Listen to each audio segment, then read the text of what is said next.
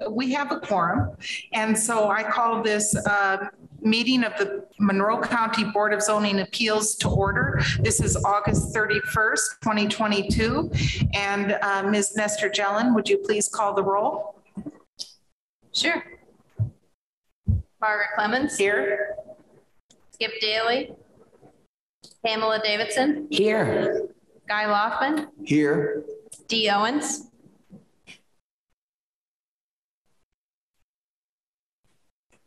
There's a message in the chat. Yeah. Yeah, I think she might be uh, coming online soon and Skip will be here soon, but we do have three in-person members, which is a quorum to get started if you would like. Okay, so um, Dee needs to be elevated to panelist. Okay. Is, is she elevated to panelist yet? At least. Yes. Okay, so, uh, Hello, my sound was off. And so you're present. I am present. Roll call. Yep. Is there a motion to introduce the evidence?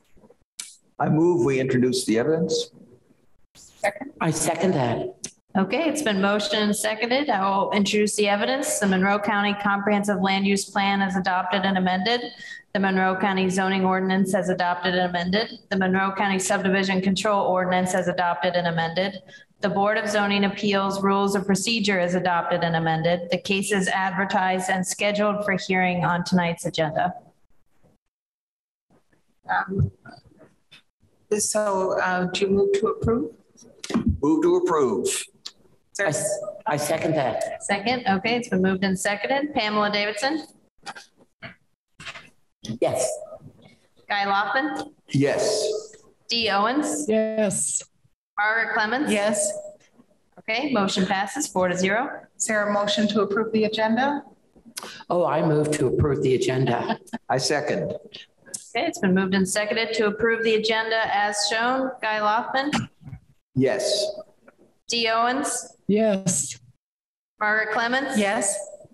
Pamela Davidson. Yes. Motion carries four to zero. Okay, so now we can get on to the heart of the meeting. There's no administrative business, there are no minutes to approve. And so the first three items on the agenda are VAR twenty-two twenty A, B, and C. And that's the Wisely minimum lot size variance to chapter eight oh four, the Wisely uh, buildable ar- area variance to chapter eight oh four, and the Wisely Eco Area Three variance to chapter eight twenty-five concerning a two point two five acre parcel in Salt Creek Township at section twenty at forty-five oh four South State Road four forty-six.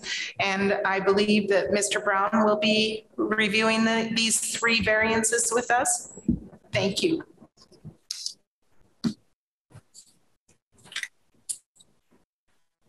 Uh, Thank you. Just a brief recap, uh, as this as it's been a month almost since we reviewed this last, last.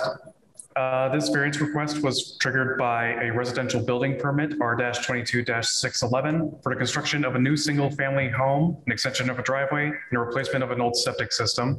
The building permit is for a two-story house with an area of 1,350 square feet, an attached garage measuring 570 square feet, a deck at 200 square feet, and a basement at 780 square feet. This will replace a, an existing mobile home on the property. A search through various deeds to the property show a reduction in acreage with the recent survey. What was previously recorded as 2.75 acres, more or less, is now 2.25 acres, more or less, after a survey done in 2021. Since we must go by the survey acreage and not the prior legal acreage, a minimum lot size was needed. And here we can see the site. It is within the Eco 3 area as the map on the right shows. Uh, It was also in the Eco 2 area, but there has been a modification to the site plan since the last meeting. This shows the site itself with the current existing mobile home, as well as the slopage. I'm sorry, slopage is not a word. It's a good one. I like it. As well as the slope on the property. I, again, don't think my camera skills are up to snuff, but I think that potentially shows the sharp decline of the property towards the eastern side.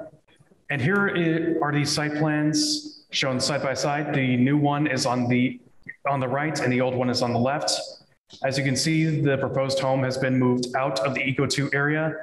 Hence, the Eco 2 variance has been dropped from the agenda and dropped from this project. There is still, however, a portion of the proposed house that is within the, that is within both an area of 15% or more slope, as well as the Eco 3 area, as shown by the green line that shows 18% slope on the property. So with this revision, staff recommends approval of all three variances, the minimum lot size variance, the buildable area variance, and the environmental constraints overlay three variance, with the condition that the petitioner must apply for a residential demolition permit concurrent to the residential building permit for the removal of the, of the current mobile home. Thank you. Does, do members of the Board of Zoning Appeals have questions for staff? And let the record reflect that Skip Daly has arrived and is present. Thank you. Welcome. Yes. No questions. I, I, um, I have one question. What caused and and instigated the reduction in acreage on this property? Because, and how pervasive is that throughout the county?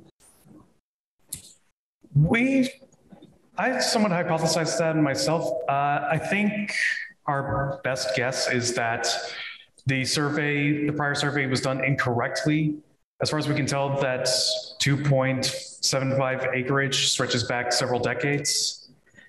We think that maybe due to, I think it's been suggested that maybe because of the severe slope on the property, it was eyeballed, the acreage was eyeballed instead of accurately measured. I see. I see. Well, thank you for that explanation. I've noticed some reduction in my own acreage. So I was curious how that happened.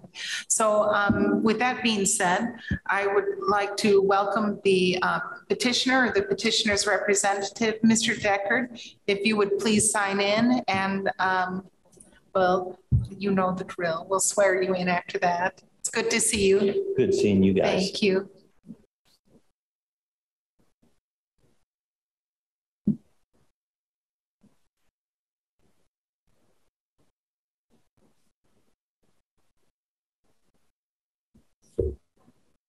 And would you please raise your right hand and do you swear to tell the truth, the whole truth and nothing but the truth? I do. Thank you. Yep.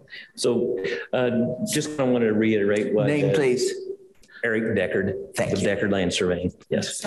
So just wanted to kind of reiterate what, what Daniel had to say. Since the last meeting that we had, you know, the septic field was, was the issue in the room, so to speak. And we really wanted to move this septic field closer to the highway. Um, We've had additional soil tests conducted since the last time and got Ryan's approval to move that septic field closer to State Road 446 and then move the house approximately 85% out of that 18 and 15% slope lines, and also getting it out of the eco two. So that's only going to leave us with approximately 60 feet, feet of structure that's going to be in the 15, 18%, but you still have a patio. So in grand total, what would infringe onto the 15 to 18% is 400 square feet. It's great. Do uh, members of the board have questions for Mr. Deckard? I do not. Okay, I do not. Okay. And, okay, so, No, oh, yes, online. Yes, are there member, oh, uh, Dee, do you have a question? no, I do not. Thank you. And so uh, we will move now to members of the public who are attending in person, who are in favor of this um, petition for three variances. If there are none, I'd also like to open it up to members of the public who are attending by Zoom or by telephone. If you would like to be recognized to speak in favor of this petition, please raise your virtual hand or press star nine on your telephone to be recognized. There's none. Are there members of the public who are present who would like to speak in opposition to this petition? If you're here in the uh, Nat Hill courtroom, come to the podium. If you're online uh, attending by Zoom, please raise your virtual hand. Or if you're attending by telephone, press star nine and we'll hear from you. With that being said, and we see no um, people in support, no members of the public who'd like to weigh in on this issue, is there a motion or further discussion by our board? Well, I'm pleased to see everything worked out that makes this a, a, uh, a project that's consistent with, with the environmental needs and, and you, you know, you're stuck with a erroneous property description. You, you can't do much about that and we should certainly accommodate that. So I move to approve. Uh, the uh, variances, uh, 22 uh, Uh, dash 20A, dash 20B, and 20C. I second. Okay, would you please call the roll? Is that with or without the condition? Oh, yes. With, we with need the to add- conditions- Yes, sorry. Yeah. With the conditions as specified by the, by the plan department. Okay, Let's just, could we just clear the motion? Can we, I'll read it. Yeah, so the motion was to approve Thanks. VAR twenty-two twenty A, twenty B, and twenty C. That's for minimum lot size, buildable area, and eco area three, with the condition that the petitioner must apply for residential demolition permit concurrent to the residential building permit, the removal of the current mobile home. I'll call the roll. Margaret Clements. Yes, Skip Daly. yes, Guy Loftman. Yes. Dee Owens. Yes. Yes. Pamela. Yes. Mm-hmm. Yes. All right, the motion carries five to zero. thank you, Mr. Deckard. Thank you. Thank you for working on that. I concur with Guy. Yeah. And just a reminder to the board and to anyone that speaks at the podium, it can be very difficult to hear from the back. So if anyone from the public wants to move up to the front, there are seats here, but we'll also make an effort to speak loudly into the mic. Okay, thank, thank you. you. So the next item on the agenda is item number four, VAR-22-27, the Laux front yard setback variance to chapter 804 concerning 119.21 acre parcel in Polk Township at seventy-eight forty-five East Chandler Road. And so um, I believe Ms. Crecelius will guide us through this. Yes, thank you, Margaret. Thank you. Okay, so the petitioner is requesting a variance from the front setback requirement of 25 feet from chapter 804. They've applied for a residential accessory structure for a stick-built carport that is 30 by 40. The property currently contains a single-family dwelling. The location that the petitioner is proposing is a current gravel parking area So they're proposing that the structure is located to be 15 feet from the property boundary. The front setback is 25 feet. That's what's required by chapter 804. So that's an encroachment of 10 feet. If the variance is approved, the con- the petitioner will continue with an IOP application to permit the structure with the 10-foot encroachment into the front setback only for this carport structure. If the variance is denied, the petitioner will be required to meet the 25-foot setback. So on the screen is a aerial image. Uh, Just please note that the thicker blue line is really a better approximation of the actual property boundary. On Elevate GIS, it does appear off. So the red box is the approximate location of the carport. So the property does have slopes on it. um, uh, But the area that they are proposing it is, is a buildable area and there is buildable areas surrounding. Um, So staff does recommend denial of this front setback variance from chapter 804 for an encroachment of 10 feet. Um, And the reasoning is, is that the structure could be relocated 10 feet farther to the north and meet the setback requirement and would still be located within buildable area. Okay. Uh, Are there questions of the staff by the board? No? Well, then, pardon me, Uh, Can you guys hear me? um, Um, we're waiting here from, we haven't opened it up to the public yet. Well, I'm, I'm John Laux, in case it matters. I, I thought I would have a chance to say something, but that's fine. No, yes, you do, sir, and I didn't know that was you. So if you would please, in your home, raise your right hand, and do you swear to tell the truth, the whole truth, and nothing but the truth? Yes, I do. And please state your name and you have 15 minutes to go over this uh, request for a variance with us. Okay, thank you. Um, uh, so my name's John Laux and I got got a little nervous there. Um, do you just need to explain? Do I just need to explain why I I think it's a that we need the variance? Yeah, why those 10 feet are so important for your project, why you need that variance?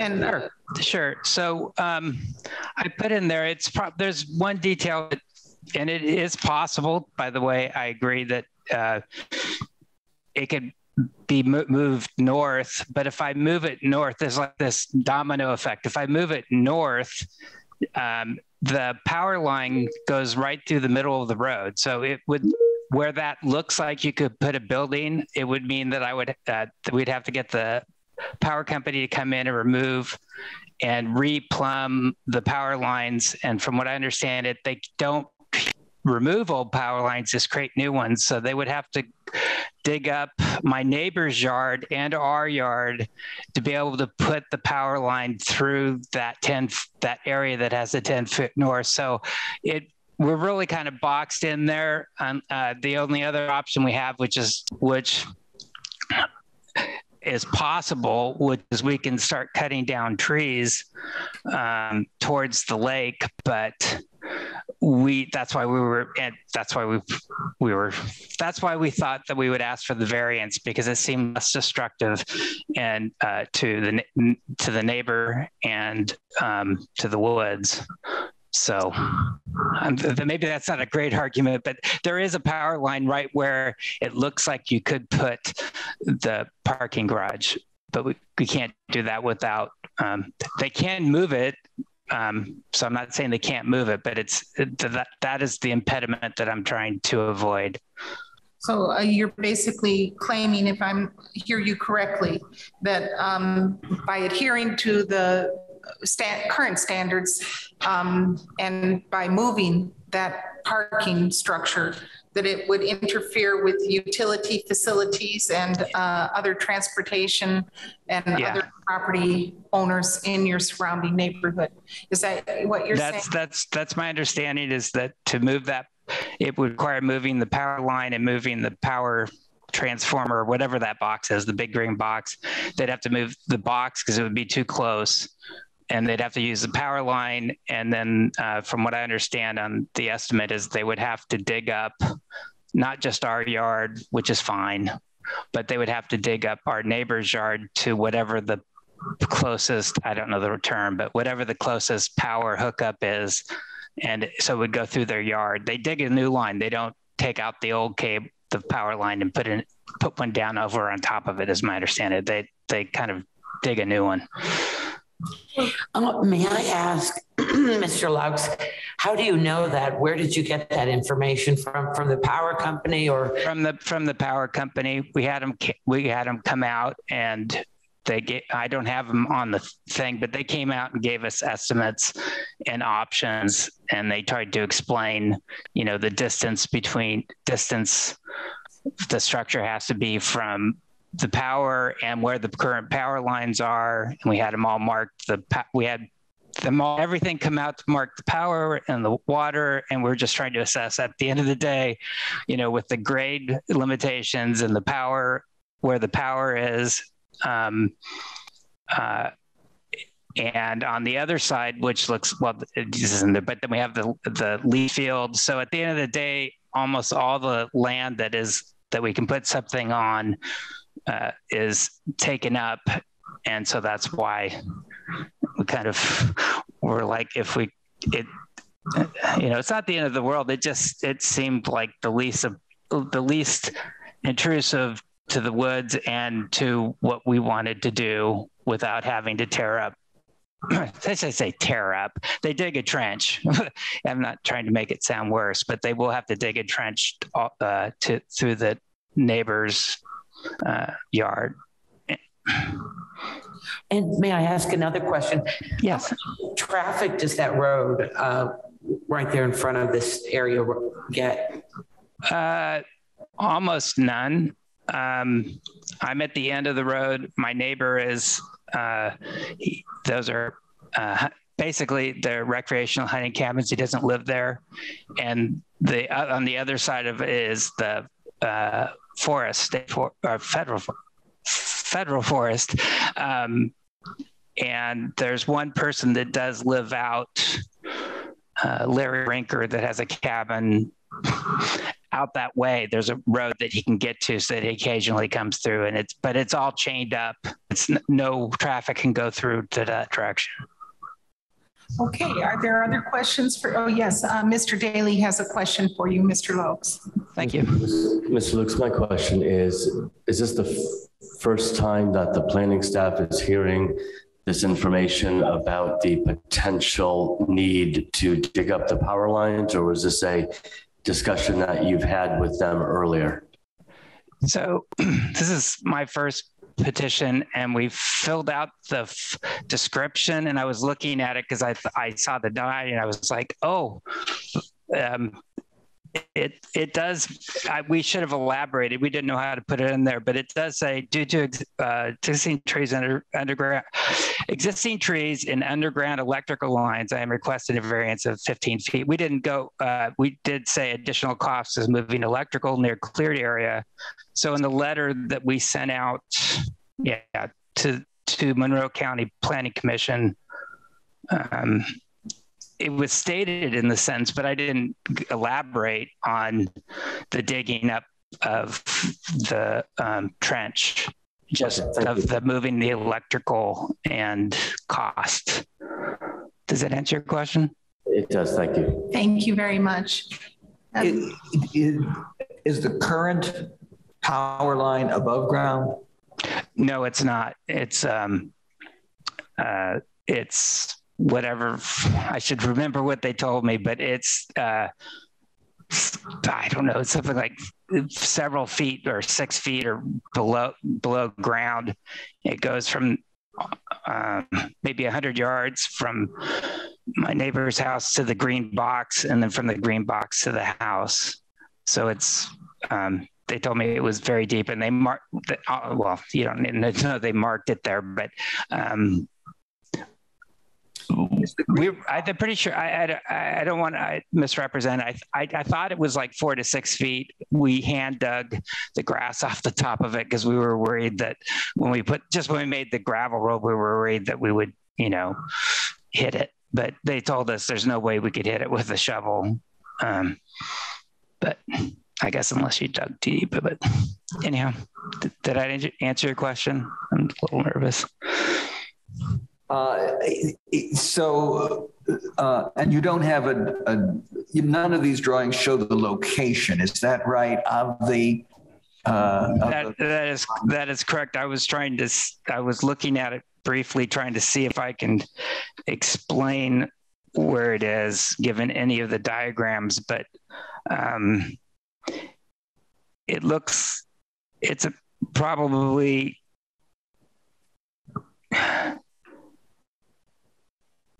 I'm just going to estimate like 15 yards north of it comes diagonally across and and uh, across underneath our that the road that's the driveway that we put in.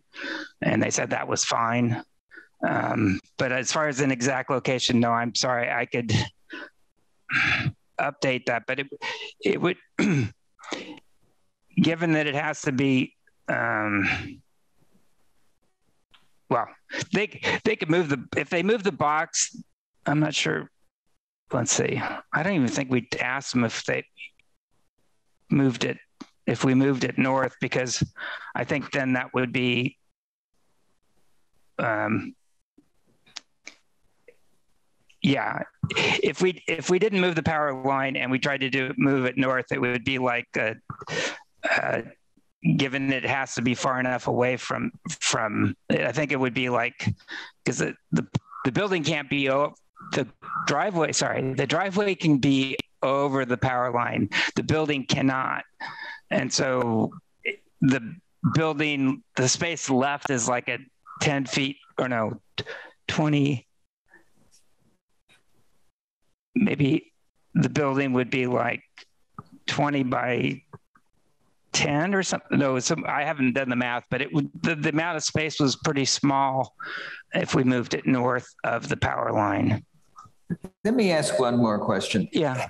Has the power company given you anything in writing about any of this, or is it all just talk? Uh, no, I don't have it with me right now. My wife will be home soon, but uh, we have an, two estimates for two ways that they could move the power line if if if we wanted to move the uh, the power line. And would you have to pay for the moving? Yes. It was it was in the thousands, three three to five, I think, depending upon what they did. Three to five thousands. Okay, um, I would like then to open this up to the public. Are there members of the public here who would like to speak in favor of this petition? If you're here in the Nat Hill courtroom, please come to the podium. If you're attending via Zoom, please raise your virtual hand. Or if you are calling in, press star nine. No. Are, okay, are there members of the public who would like to speak in opposition to this petition? If so, please come to the podium, raise your virtual hand or press star nine on your telephone. And if there's none, I'd like to bring it back to the Board of Zoning Appeals and for further discussion. Yes, Mr. Daly. I have a quick question for staff. Uh, were you aware of this described uh, challenge that the petitioner has with the power company prior to your recommendation of denial? And if you were not, how would that potentially influence you at this point? Uh, we were aware in the sense that they included it on their letter. Um, we did have a site plan edit at one point to include like septic system, and we did get that back. Um, it wasn't necessarily asked of them to identify that power line. It certainly would have been helpful. Um, all of that information probably would have been very helpful beforehand. It would have. Um, would you have assuming this is the actual case and that the way he described it is the way that the utility company would also describe it, would that change your recommendation in any way, or would you have another potential workaround for this situation in mind? I mean, I guess my question coming out of hearing that testimony is really what is that location of the power line? I think at one point I heard possibly 15 yards away, but also maybe running diagonal. I mean, that could, I mean, it, not being able to put a structure over it, that's understandable, but it sounds like there may be room. Thank you. Seems a little bit. Would it be helpful if you had at this point if you had information from the power company to be able to work this out somehow? I think the, the, the board could, has the information to make a motion. I mean, I think staff could support it if we had identified that line beforehand. Would, okay, would uh, just, would a potential tabling of this for the petitioner to obtain the detailed information and to pass it along with you and to give you time to review that, would that be helpful for you or for the petitioner? I mean, if we continue this and we got more information, we could come back with a, a recommended motion of, of support. Okay. But I'd like to just say something here.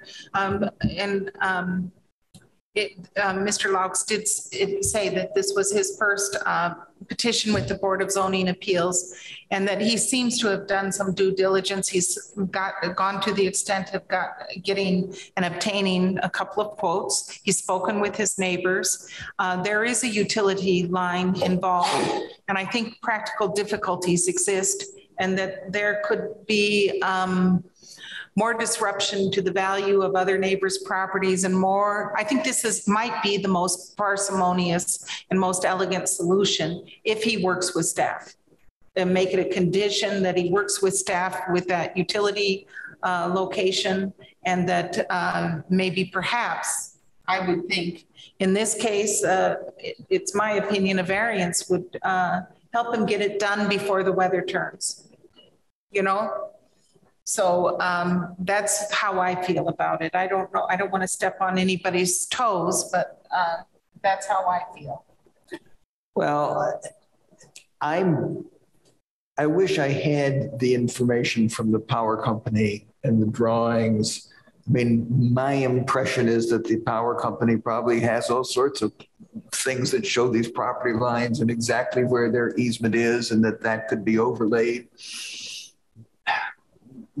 reasonably easily so that we would uh, would have the information. And I'd like to see the estimates that the, the power company provided.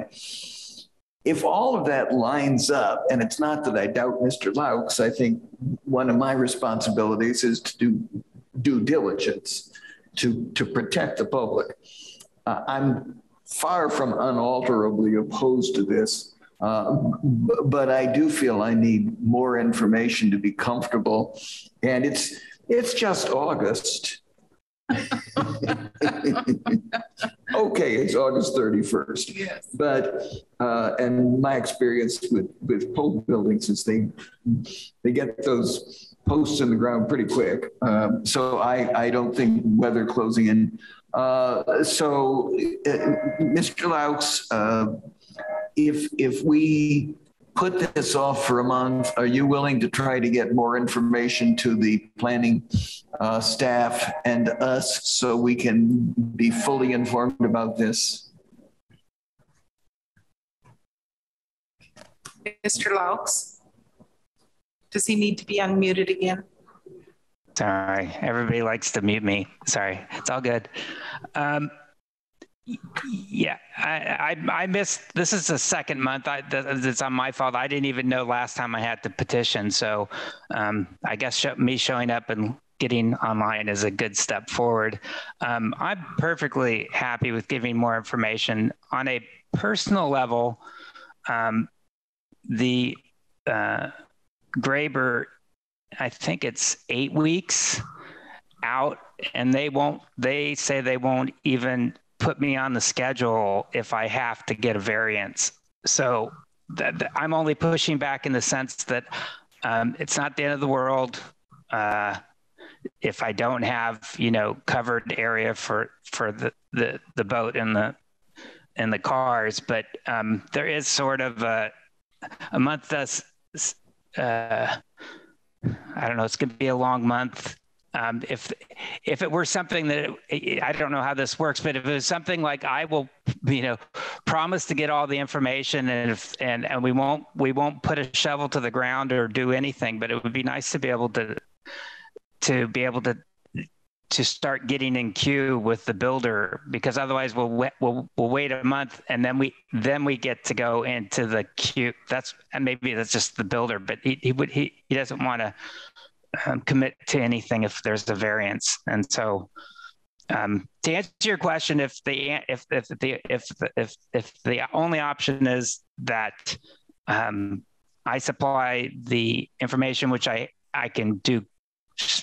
certainly because I have it somewhere, make copies of the uh, um, power supply quotes, and then try to draw a line and show you where the power line is. Um, and give measurements, I'd be happy to do that. Is the short answer. That wasn't sure. It wasn't. Um, but it sure would be great if if we could if this was more of a uh, just making sh- making sure it was okay before we did it. I don't. Uh, uh, but I could go ahead and tell the builder that you know, um, unless something terrible happens or something that that it's it's a it's a go as opposed to you know um, having me to wait even longer. Because I don't know what that, I think, again, not life or death, but it, it it's going to be like a month, whatever this, the, the variance is, plus probably two months or three months, depending upon the queue. But yeah, sorry, I'll be quiet. Thank you, Mr. Laux. So it's still my um, my desire to see this approved with conditions, and then we it would be efficient for us and efficient for him and efficient for the builders. But that's my. I will, I will make a motion to approve the variance upon uh, the variance uh, 22-27 with the condition that the petitioner uh, shows um, planning department staff uh, adequate resources from the power company describing the hardship and works with planning department to have the least negative effect upon um, the the environment right there. That's a long motion. It is. Can we also add that, that to see the two estimates that he's already procured? Yes. That'd be great. And have a oh. utility locate I- service. Can't can't wait to hear the staff repeat that one. So So it is, well, somebody want to second that? Right, no, it- it- it- Is, is staff comfortable saying, sure, if he satisfies us, then we'll grant it. If he doesn't, we're going to say he didn't meet the conditions, and then it would come back to us at our next meeting. So if you are recommending approval or voting approval tonight and there's no quotes from the electric company or anything like that, then we can't really, I don't, I- we might be able to take it back for lack of conditions. I, I, okay, I'm, I don't think we should, I am not going to vote in favor of passing it tonight because I feel like Mr. Laux has come with a lot of very important information and I can't support it until I've seen the information and evaluated it. I think I will be sympathetic if it all adds up, but I have to see it add up before I can vote in favor of it. Is, Mr. Laux, is there any way that you could email us that information? We could push you to the end of the agenda? I will work as fast as I can to go find it. Is that okay? I think that's I, great. I I motion that we table this to the end of the meeting. Second. Okay, all those in favor? Yeah, I am. Um, Yeah. Yes. Yes. All in Okay, favor? Mr. Laux, we'll be hearing from you soon. And uh, in the meantime, we're going to get on with the rest of the meeting. The next two items on the agenda have been continued by staff.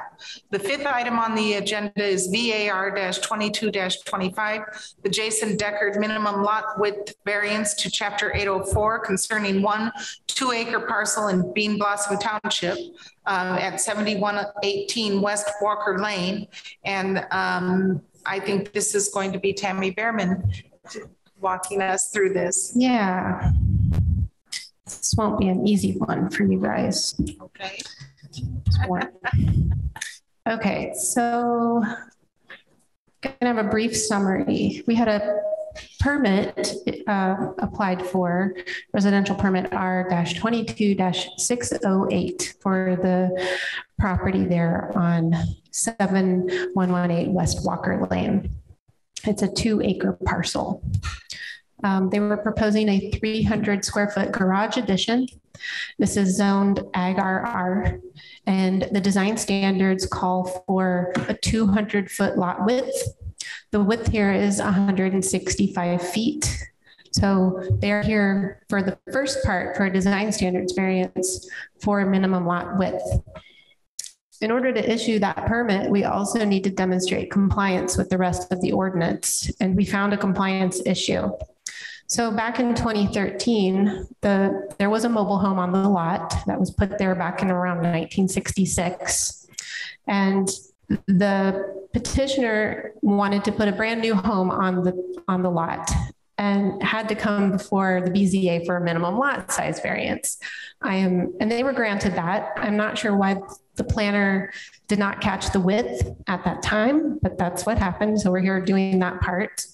Um, but the mobile home at the time was allowed to stay uh, under permit 13-RM-016. And we're using a part of the ordinance that since I've been here in 10 years, we really have never used, um, but it was used quite a bit before my, eh, maybe three or four times before my time. Um, this allows the mobile home to remain on the site as a temporary um, placement for medical hardship. And at the time, it looked like that they had satisfied the planner who reviewed this thought they said that they had provided enough evidence to allow this to stay there. That permit expired in October 16th of 2014. So for the last seven plus years, we've had two residences on one lot and one of those without a permit. This is the site conditions for the lot. Um, it's rather flat next to a water tower and a cemetery there to the east. And then I kind of zoomed out a bit and it may be difficult for you to see, but what I see is a lot of karst features. We have sinkholes to the south, to the southwest, and then some other larger ones to the north and northwest. And though this lot appears to be kind of draining towards the west and kind of northwest, it's hard to say in these karst topography areas because the underground conduits can go wherever. And this will kind of come into play when I discuss septic systems in a little bit. Um, so with regards to the lot width, we noticed that the parcel lines were really far off here and we had questions whether the side setback was being met, but we had found a plat to the south um, next just to the right of the yellow line and the Pinewood subdivision is a mention for this petitioner's lot. And we did some calculations and saw that there was maybe a 32 foot shift in the parcel layer up there. So we were able to justify that a a side yard setback was not required, but we are still left with that minimum lot width to contend with. These are some site photos. Um, this is the driveway that runs along the eastern property line. And in the shadows here is where the mobile home is. And back towards the back is where the newer home in 2013 was placed. Um, this is the mobile home. It's a 1966 mobile home. You'll see some uh, hoses and electric lines that are coming through the yard. Um, they do have a RV on site at the moment. I'll go into that in a moment. Uh, this is the mobile home here again. And then this is the 2013 home that they're planning to do the expansion for um, a, a garage. And the garage would go here uh, this is again a photo of the eastern side of the mobile home. And then this was, um, I may do a follow up visit to confirm that this was just a temporary RV placement. You're not allowed to live in an RV, but um, the petitioner stated that this was family that was visiting. I'm going to take them at their word, but I might still do a follow up just to confirm um, that we don't have a non compliance issue here. Um, and then again, where the addition's going to go, the mobile home back here, and the garage. So the petitioner, we worked with him to get a site plan that would meet our specifications. And this is what we ended up with. So here's the 2013 house with the yellow representing the proposed garage addition and the mobile home here. Um, there was a septic permit issued for the 2013 home. And the 20 or the 1966 mobile home, uh, we do not have a record of a septic permit. We reached out to the health department and a um, real estate inspection was performed. I'll go into that here momentarily. So in the packet, I do have the improvement location permit that allows the temporary medical hardship manufactured home to remain on site in two places. It does state that it expired in 2014. I will say that in 24, around 2013, we had ex an extensive staff turnover. So I'm not surprised that this maybe got lost in the shuffle, but you know, the, the petitioner should have come back and, and done this process properly. Um, it was for the purposes of allowing his grandmother to remain on site nearby. And I believe his mother was helping to take care of that individual. Um, the grandmother, I believe, has since passed away. And so it's, it's the mother that lives here now. And um, this temporary mobile home placement um, was supposed to have not remained in place um, with the changing of, of people living there. I did do a compliance review uh, against Chapter 814-4 and went through each individual step to see if we were meeting compliance. Uh, the one thing I, I think that really kind of grabs me is that we don't have a septic system locate or uh, compliance in that uh, part A1. The second part, hit my notes so I can get that easier. This one. So the second one is to um, provide a licensed physician certification, and that was provided under Exhibit 7. Number three, we have to notify interested parties. That was done. I think I only had one person who called to inquire, and they did not seem to have an issue. Um, they need to demonstrate compliance with all other land use and ILP requirements. Um, we don't have compliance with minimum lot size variance, so that's kind of pending at the moment, which is why I made it an orange color. Uh, fees for administrative review.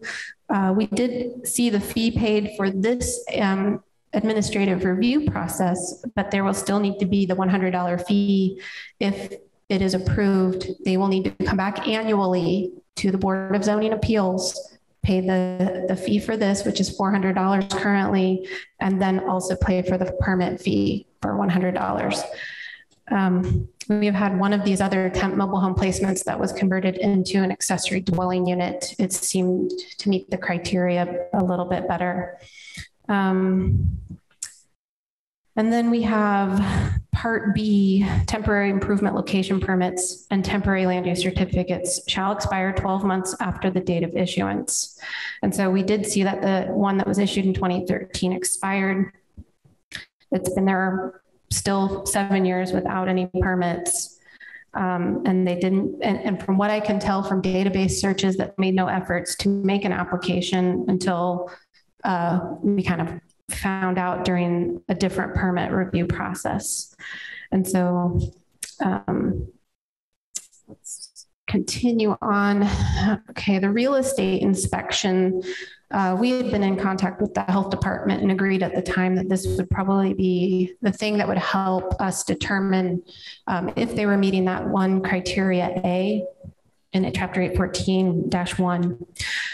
And on page 34 of the packet, uh, you'll see that I'll just highlight a few things that cause planning staff some concern, especially here in this karst area.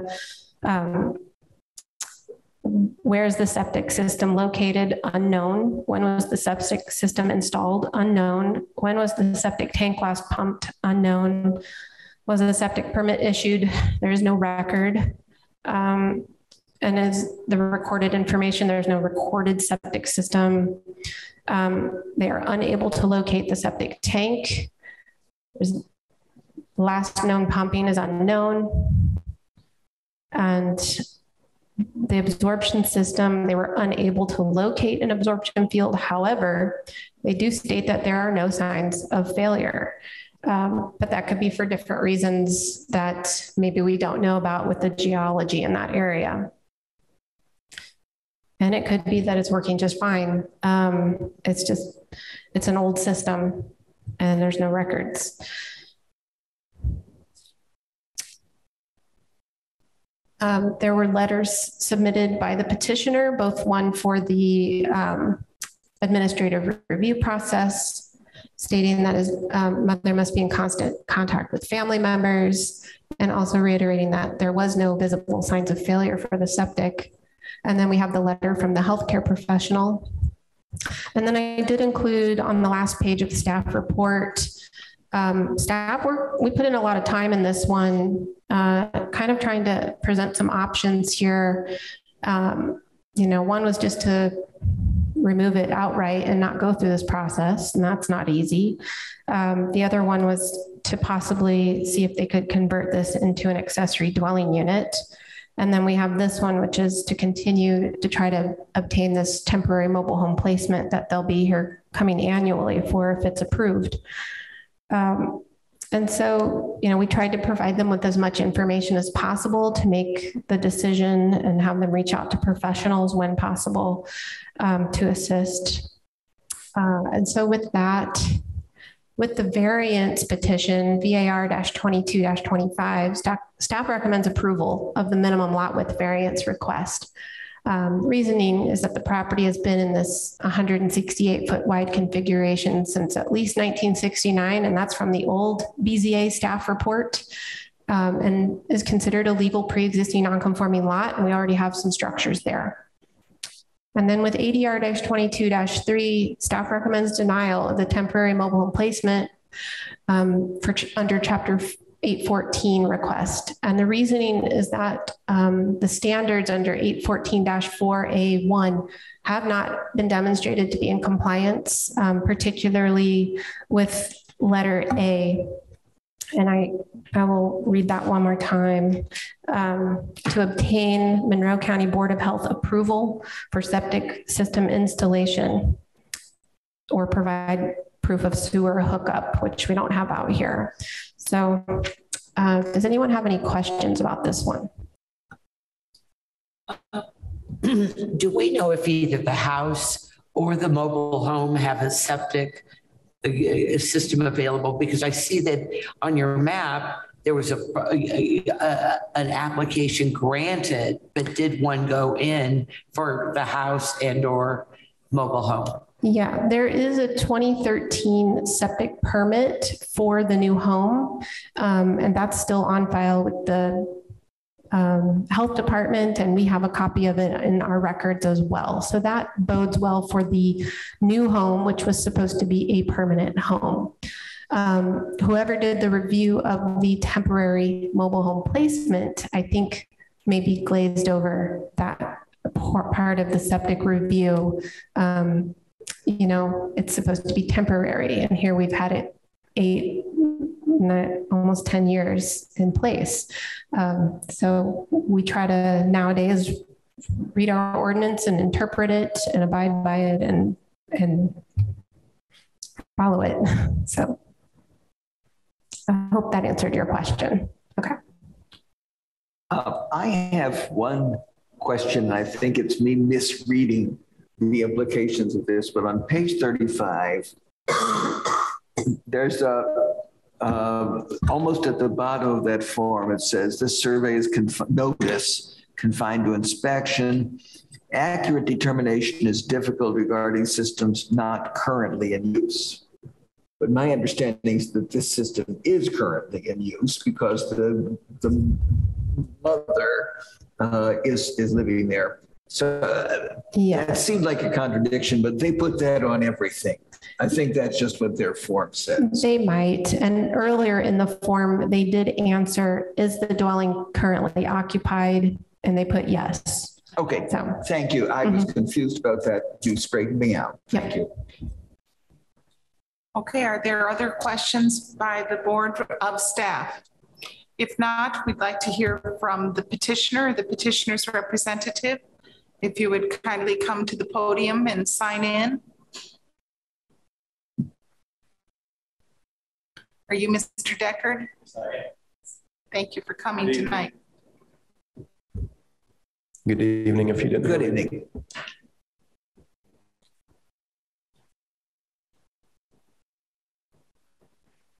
So tonight I'm asking for. Sir, I need to Sorry. swear you in. Sorry. Would you please uh, raise your right hand, state your name, and then do you swear to tell the truth, the whole truth, and nothing but the truth? Jason Deckard, yes. Thank you. Yeah.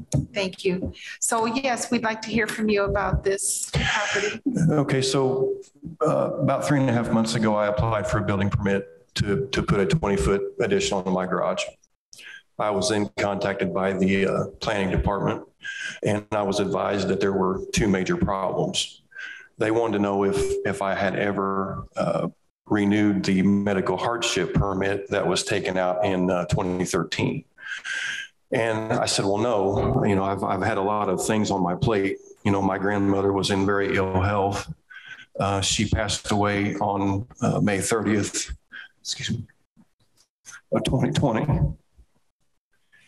And uh, so in the course of, of, of this all happening, my mom had to move in and take care of my grandmother. And it ruined her financially during this process. And also it, it deteriorated her health very rapidly. So in the presentation, you'll see a letter from her doctor stating that she has to be in constant contact with family. Okay. Sorry. Um, there are some clarifications that I need to do. Um, the, the mobile home was not installed in 1966.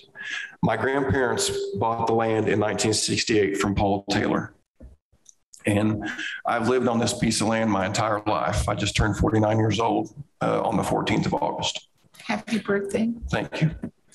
So when my grandmother passed away in 2020, my mom said, What am I going to do? I, I don't have a place to live. And I said, Just stay here and I'll take care of you. She has no money. I pay all of her utilities, everything. And I even buy her food because she she has no she has no means to support herself. So in the course of, of applying for this building permit, all this came out. I was informed uh, by the Planning Commission that the building permit that I was issued in 2013 was actually issued to me illegally because I had not been put through the minimum lot width variance as I should have. They took me through the minimum lot size variance, but apparently the minimum lot width variance got overlooked, forgot about, and Tammy stated several times that they had a high staff turnover rate back then. You know, whatever. But even even back then, uh, I'm not sure about the turnover rate, but it, it got missed. Okay. So, in the course of this, I reached out to Lee Jones to try to ask her what what I should do. And she even stated in a meeting that Tammy and David and I and, and several others had that I should not have been charged for the lot variance because it, it was none of my doing. I had nothing to do with with that part of compliance. And I appreciate Tammy putting in the report that, you know, she's recommending approval of that because I just I just had nothing to do with it. But the medical hardship permit is a, a, a different subject totally. I tried to comply with everything that, that she asked me to do. I got the Monroe County Health Department on the line. They come out and they done a real estate septic inspection exactly like they did back in 2013. Randy Rains performed that. And the letter that he stated there were no visible signs of failure is, is actually in the, the, the attachments. They stated the same thing. Randy was not able to locate the septic back then. It was installed in 1968. There was no permit taken out for it back then. But it's not failing either. Okay. Um, I did not realize what was going on until this morning when I called Tammy and she said, Well, we're, we're recommending denial of the mobile home medical hardship permit because of the septic problems. And I'm like, there's no problem with the septic. It's it's been inspected. They do say that they were unable to locate it. I don't even know exactly where it is. The last person who could actually point to the area where it was at was my grandmother, and she's gone. So I'm asking for your approval for this variance, minimum lot width variance, and also the medical hardship permit. So number one, I can keep my mom in the mobile home until the need is satisfied. And I don't have to tell you all what that means. I think we realize what that means. And she is in very ill health. Uh, the second thing is, is I want to be able to enjoy my property and increase the value of it by adding on to my garage. And it, it, it's like a domino effect.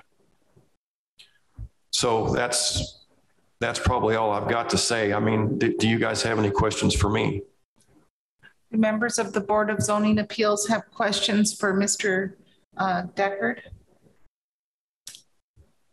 I'm sorry about your grandmother and your mother. I'm I sorry do. about it's it's wrenching.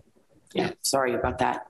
I, I have to say, just not a question for you, but uh, as somebody who has cared for elderly people, it's odd that those permits are a year at a time because that's not really how that works real life. It really, it really, there's something that happens and that's what changes that living arrangement, not passage of time.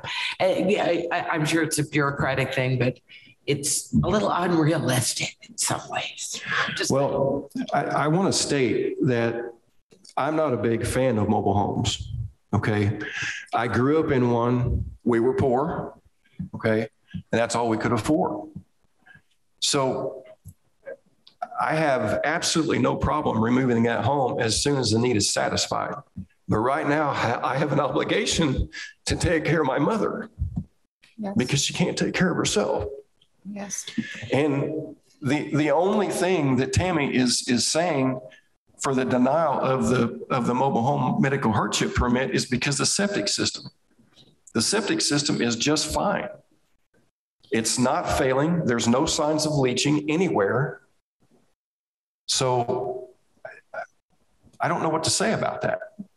I- mean, there's, I, I done what was asked of me. I got the health department out there. They state that there's no visible signs of failure. I don't know what else I can do. Uh, may I ask, is your mother the only person who occupies that mobile home? Does Yes, she my- live there alone? Yes, my mother's the only person there. Yes. Thank you. Yes. And there, there also is a picture of my, my relative's RV from out of town. Um, she said we would get into that later, but they are gearing up to leave, so they'll be gone in another three weeks. Yes. That they'll be gone. Well, you know, So- your family is coming together and that's important. And uh, you're providing some comfort and, uh, and social involvement with your mother and your other family members. And that's important. You know, that's important. So I, we thank you for your testimony. And um, we heard also that you, uh, in your testimony, that you, um, and you're under oath, that you, your grandmother could point to where the septic system was. So um, that's important to us as well.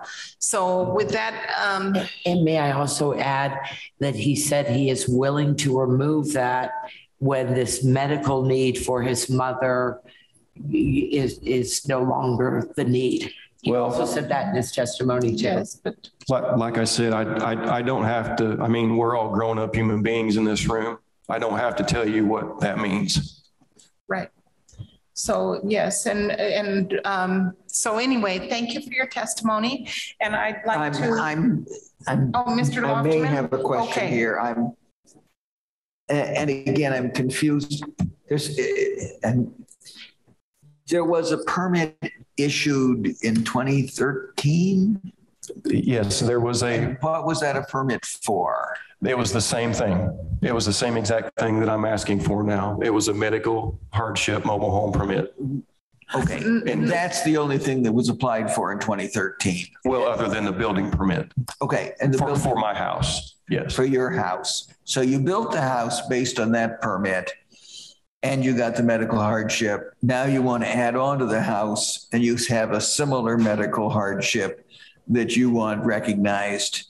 And you are um, promising that if your mom uh, moves out into to some sort of care facility or otherwise ceases living there, that you are going to haul off that mobile home promptly.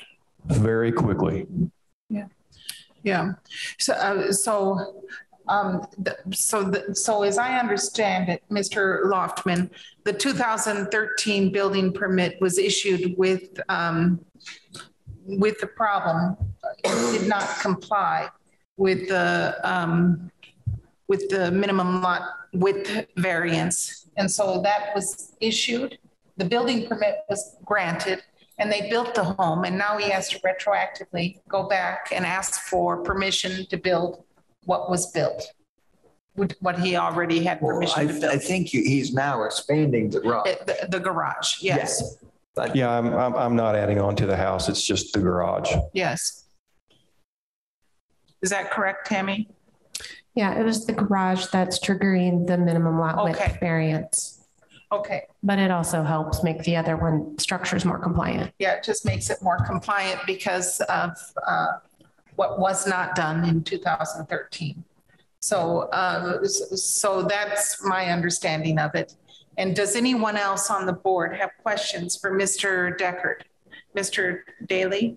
I don't have a question for Mr. Deckard. I do have a question for staff.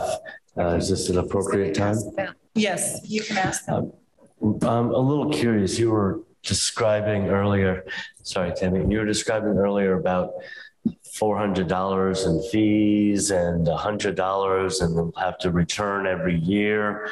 Uh, Forgive my naivety as to the fee structure, but can you briefly explain that?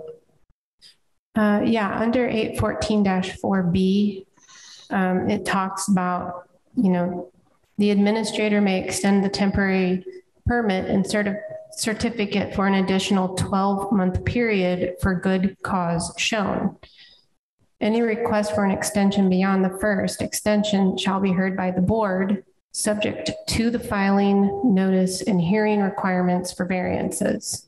And so with this, it's a, it's a $400 fee to do an administrative review such as this.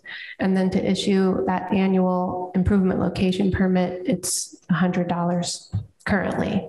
And I don't think we have any plans right now to increase our fee schedule in any way. Um, but I can't say three or four years out what that's going to So, be. so should he be approved, just from my own understanding here, should he be approved, he would have to return at the end of the 12-month period and pay you another $100 for a review? Um, I would want to talk with, I think that's true, um, because we've already seen the first one. So the administrative, we can't do it. So it would be coming back here basically annually and seeing those fees. Okay, thank you. That, that's a very important clarification. Thank you, Mr. Daly. And um, so I'm sorry, I'm going to now open it up to the other members of the public who may be here to speak either in favor or in opposition. Just, just one more thing. I have no problem coming back every year. I, I, if that's all I have to worry about. I, I actually, I had a, uh, a pretty close call about three weeks ago at work. I had a cardiac event and they hauled me up to Methodist and luckily it was okay, but the stress of all this is Yes. not making it any better. We're sorry for that, sir. We're Right. sorry. Thank Thank- you for coming tonight and we're Thank you for hearing me. Thank you for taking care of your grandmother and your mother and with love. That's what we do. Yeah, that's what we do. That's right. So I'd like to open this up to members of the public who are here to speak in uh, support of this petition. If there's anyone here, and I see a gentleman coming to the podium, um, who, while you're signing in, I'll also ask members of the public who are um, present online to raise their virtual hand or press star nine if they'd like to be recognized uh, to speak in favor of this request.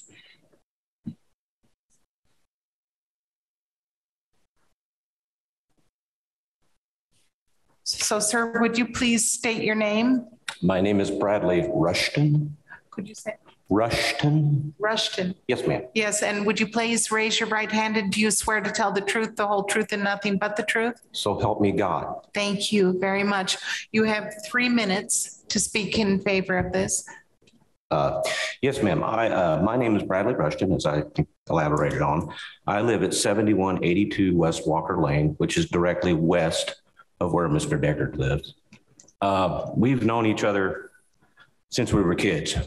Lived out there. I knew his grandpa, his grandma, and uh, salt of the earth people. Uh, His grandpa was quite the codger, but everybody liked him. Uh, I know his mother, Pam, and uh, when I was a younger man, she came out to help take care of my grandparents.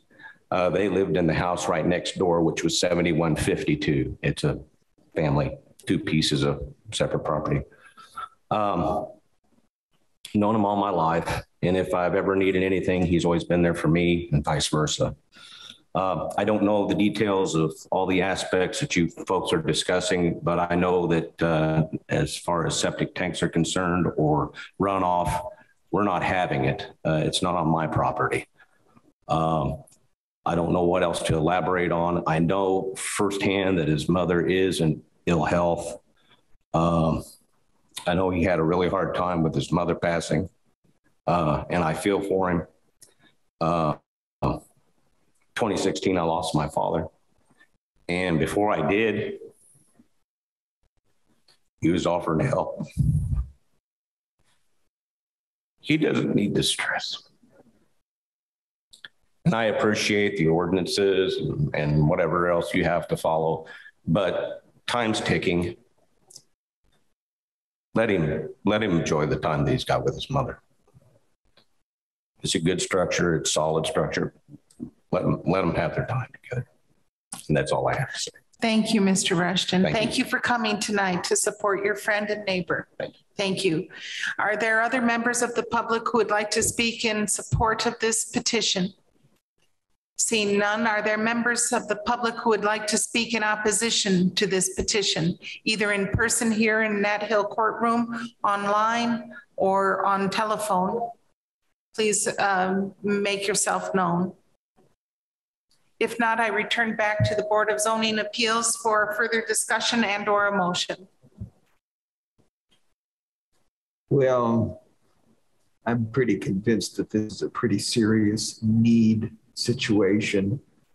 Uh, and and uh, I'm concerned about the septic, but I should have been concerned about the septic, you know, many years ago. Yes. And it's it's not going to get a lot worse. Uh, if if and and the annual renewal is what should have been happening here all along, but I'm not going to hold that against Mr. Deckard. And I, so I'm, uh, I'm glad to hear what anybody else to say, but I'm certainly leaning in favor of granting this with the understanding, of course, that it will be renewed every year if needed. And um, Mr. Daly, did you want to make a motion, a motion out of that, especially with regard to the fee- renewal fees? I don't know if the, we have the authority. Let's ask Mr. Schilling. Mr. Schilling, do we have the authority to waive the first year's fee on approval of this if it was thrown into the motion? All right. Well, you know what? I'm going to do it anyhow. And if you come back and find that it's not acceptable, then you can deal with it at that point. I'm going to make a motion. I'm going to add to your motion that we approve uh, ADR 22-3 um, and uh, waive the first year's renewal fee. Um, There we go. What about the $400 fee? The hundred, $400 fee for, the $100 renewal. there's a $400 fee. Is all, well, isn't there a $400 fee? Right, there's a $400 fee to come to the Board of Zoning Appeals. And then if it is approved, then the permit would be $100 that they would have to file. So there's no option to waive that $400 fee since we, We don't even know that there's an option to waive the, this fee. but there's the minimum lot size variance that we partly created. Okay, that's, okay. Um, So, and I will say that um, it's, usually it's the Plan Commission that offers refunds. And I do know that the petitioner was intending to ask for a refund for the minimum lot width variance petition because of the error from the past. Um, So we could support that. We, in our motion, we could, we could support, uh, the Board of Zoning Appeals makes a recommendation to the Plan Commission that the $400 fee be waived. I will restate my motion that we approve uh, variance, is this 22-25, Is that Yes. correct? Okay, so the A, okay. Uh, Twenty-two twenty-five um, as along with a strong recommendation to the planning the Commission, commission uh, to waive the appropriated fees um, of the $400. Okay, and then we'll have this, the septic one next. Okay, there'll be two motions. So does anyone second this motion? Second. Okay, would you please call the roll, Ms. Nester Jelen? Yes, I'm going to modify it just a little bit, and if you tell me that it's not. That's fine. Okay, so uh, the first motion is on VAR 22 25, which is a minimum lot width variance to chapter eight oh four. And this is a, an approve, a yes vote is an approval of the lot width variance as well as your recommendation or forward of a recommendation to the plan commission to recommend approval of a future request for a refund. That has my blessing. Okay. All right. I will. I- I'm a little, is he going to have to come up with the $400 and then ask for it? It's already been paid. All fees have been paid. Sorry. It'll be a refund. Yes. Got. If, if he requests it from the planning commission, wink, wink, Yes. Okay, so I'll go ahead and call the roll then. Or is there a second? Did we have a second? Second. Okay, Okay. now, th- thank you. It's been moved and seconded. I will call the roll. Uh, Guy Loftman, Yes. Dee Owens, No. Pamela Davidson, Yes. Oh, yes. Margaret Clemens. Yes? Skip Daly. yes. Okay, the motion carries four to one. Okay, and now we have the remaining temporary mobile home uh, placement um, variance or ADR. Yeah, 22-3. Is there a motion on this one? I move to approve uh, 22-3 Deckard temporary mobile home placement uh, under chapter 814-4. I will second. Okay, it's been moved and seconded to approve ADR twenty-two three. A vote in favor is a vote to approve. Dee Owens, Yes. Pamela Davidson, Yes. Margaret Clemens. Yes? Skip Daly, Yes. Guy Loftman. Yes. Okay, it is approved five to zero. Thank you, Mr. Deckard and Mr. Rushton. Thank you very much and God bless. Thank you. We move on to the next item on the agenda, item number seven, VAR 22 26, the Cadlick front setback variance to chapter eight oh four concerning one um, parcel in Clear Creek Township at seventy-one oh two South McCormick Lane. And this is a 0.34 acre parcel. And Mr. Myers, oh, it's nice to see you tonight. Thank you. Nice to see you all as well. Thank you. All right, so this is VAR 22 26, Cadlick front yard setback variance, chapter eight oh four. It's located at seventy-one oh two South McCormick Lane in Clear Creek Township. The Petitioner is requesting an after-the-fact front yard setback variance from a home addition that was completed prior to the petitioner's ownership of the property. The home addition slash remodel was completed sometime in twenty fourteen without permits. The existing single-family residence did not meet the 40-foot setback as measured from center line of South Matlock Street at the time of the addition was completed. Um, As the home addition was completed without permits, a variance to the front yard setback was never sought as it should have been at that time. Uh, The addition measures approximately 658 square feet and abuts against the existing detached garage, but does not directly connect the two. Um, the addition does not extend the encroachment into the front yard setback. The home was placed there already encroaching into the front yard setback.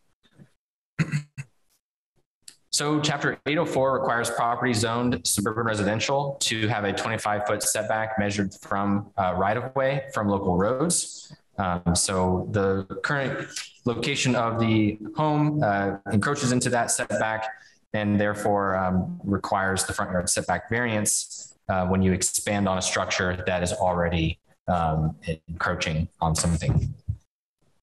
So the what this situation comes to you tonight because the petitioner was in the process of selling the property when the buyer indicated that they were unable to locate a building permit for the addition slash remodel. Um, since then, uh, the petitioner has uh, applied for an after the fact building permit and applied for the appropriate after the fact variance uh, process um, to get the uh, right approvals and permits for this. Okay, so here we have the location map it's in Clear Creek Township. and this is South McCormick Lane running north south. And then the street to the south of it is Matlock.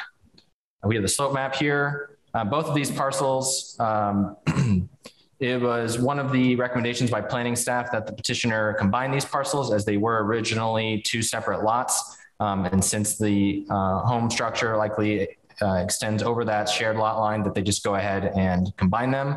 I believe that that step has already been completed by the petitioner. Um, it's simply just adding some language to the D documentation that states that the two lots are combined for planning and zoning purposes.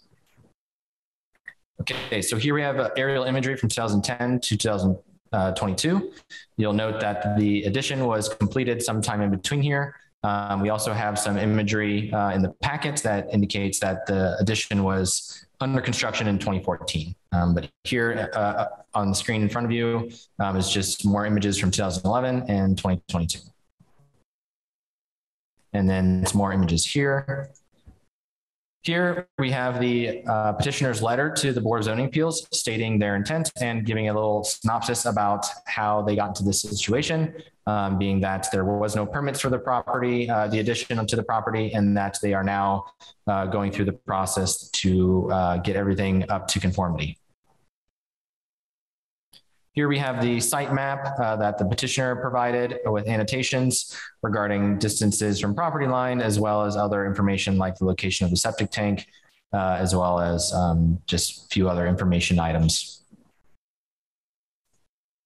That brings us to uh, the recommendation by planning staff. Uh, planning staff recommends approval of the front yard setback variance request um, citing that the petitioner has followed all the appropriate planning pathways to receive after the fact approval for the residential addition and that practical difficulties have been met. I will now take any questions. Do members of the board have questions for staff?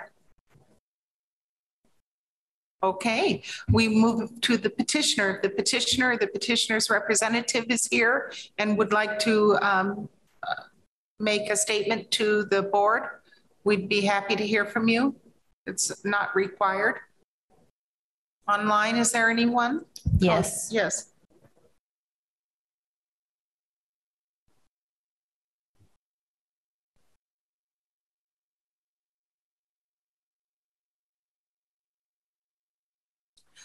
Brad, I believe you're unmuted, but we can't hear you. You may have to unmute yourself on your computer.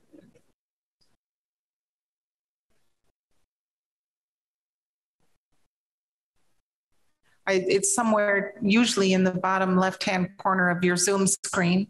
If you could uh, try to unmute yourself there.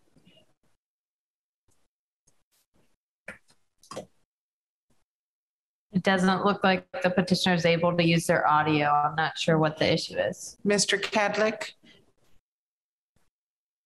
So well, while, uh, while he tries to unmute himself, let's go to the public. Are there members of the public here who would like to speak in support of this petition? Are there members of the public online or on the telephone who would like to speak in support of this petition? Please make yourself known. Is there anyone here who would like to speak in opposition to this petition?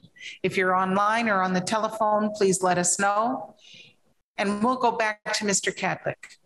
Mr. Cadlick, if we could hear you, um, if you can unmute yourself, that's fine. We'll continue to try to uh, have a discussion among ourselves here at the board.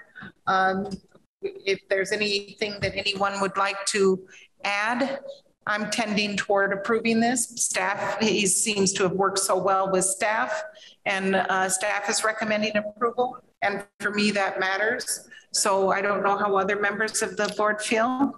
I'm convinced it was a very thorough uh, proposal that was put together. I will go ahead and make a motion to support staff's recommendation to approve variance 22-26. Is there a second? I'll second that. Okay. Sorry, Mr. Cadlick. We're sorry that we can't hear you, but we're moving forward and we hope you, um, I, we hope this works out. If it doesn't, we'll have to Okay. deal with that then.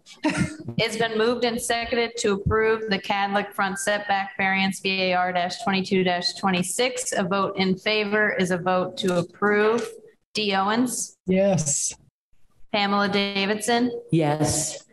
Margaret Clemens? Yes. Skip Daly, Yes. Guy Loftman. Yes. Okay, the vote passes five to zero. Thank you, Mr. Cadlick. We're sorry we couldn't hear from you, but congratulations. Okay, thank you. And we move on now to items number eight and nine, VAR 22 30A and B. And I'm not sure I'm pronouncing the name correctly. It's Hona or Haney? Um, front yard setback variance to chapter eight oh four and the Hona or Haney buildable area fifteen percent slope variance to chapter eight oh four concerning a two and a half acre parcel um, at ninety-two sixty-four West Mallory Road. And I believe Mr. Myers is going to lead us through this again. Thank Thank you. you. All right, this is the Honey uh, front yard setback variance and buildable area, 15% slope variance. It's chapter 804, located at 9264 West Mallory Road in Richland Township, section 19. Um, The request for this petition is um, that the petitioner is proposing a 3,133 square foot addition to the existing single family residence located on this property.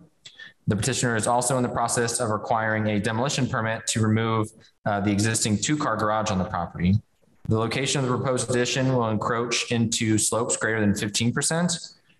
And the location of the proposed uh, new attached garage uh, will encroach into the required 50-foot front yard setback.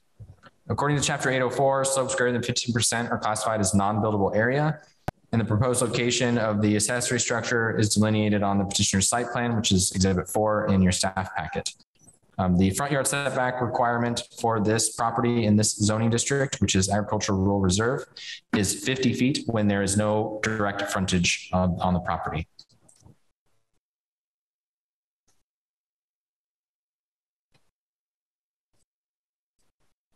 So here we have a location map. It's in Richland Township, and then um, West Mallory Road is down here. The slope map here, as you'll note, a lot of slopes greater than 15% everywhere in red is over 15% in slope. And we'll note here in a moment, uh, looking at the site plan, that the addition, proposed addition will encroach into these sloped areas to the west of the existing home. The detached garage that you see on the bottom of the slope map here will be removed and an attached garage will be constructed extending south from the existing home that will still encroach into the 50 foot front yard setback, but will uh, be not be not as much of an encroachment. Here we have the site plan as provided by the petitioner. As you'll note, uh, the proposed addition extends into the 50, uh, 15% slopes. And then again, here you'll note that the detached garage is listed here to be removed and the proposed new attached garage here as well, which will be extending, I believe, approximately um, 13 feet into the 50 foot front yard setback. There is an overhead power line located on the property that extends uh, running um, to the northeast and also the existing septic field over here as well. Both of those uh, features do limit the buildable area on the property that is under the 15% slope, um, which uh, feeds into staff's recommendation on this petition. Here we have some on the ground photographs of the petition site. You'll note the, um, uh, the power line here on the right photograph and in the left photograph. Some more photographs here of the petition site and to give you an idea of what the slopes will look like on the right photograph. The petitioner is intending to uh, build a walkout basement type design for the structure. Um, so that will uh, assist in limiting some of the disturbance to the property aside from um, the cutting into the slope. And um, yeah. Here we have uh, one more angle of the sloped area that extends off of the existing single family residence, as well as the letter to the Board of Zoning Appeals from the petitioner stating their intention of the addition.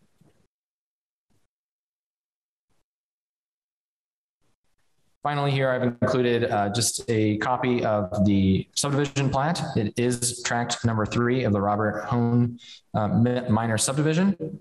And you note that there is an existing uh, easement in case there were any questions about accessing this property. It does have a platted easement. All right, that brings me to staff's recommendation. Planning staff is recommending approval of the front yard setback variance request as well as approval of the buildable area, 15% slope variance request, um, citing that the petitioner is reducing the current front yard setback encroachment of the existing detached garage through the submission of a demolition permit for the uh, older detached garage structure. And then um, for the buildable area, um, citing that practical difficulties have been met in that development of the areas less than 15% slope are constrained by an existing overhead power line, as well as the existing septic field. And the petitioner is minimizing slope disturbance by building into the existing slope through the walkout basement type design instead of just um, clear cutting and grading that area down. I will now take any questions. Do you have questions? Does the board have questions for Mr. Myers or any of the other staff? And that includes you, Dee? I have no questions. I have none.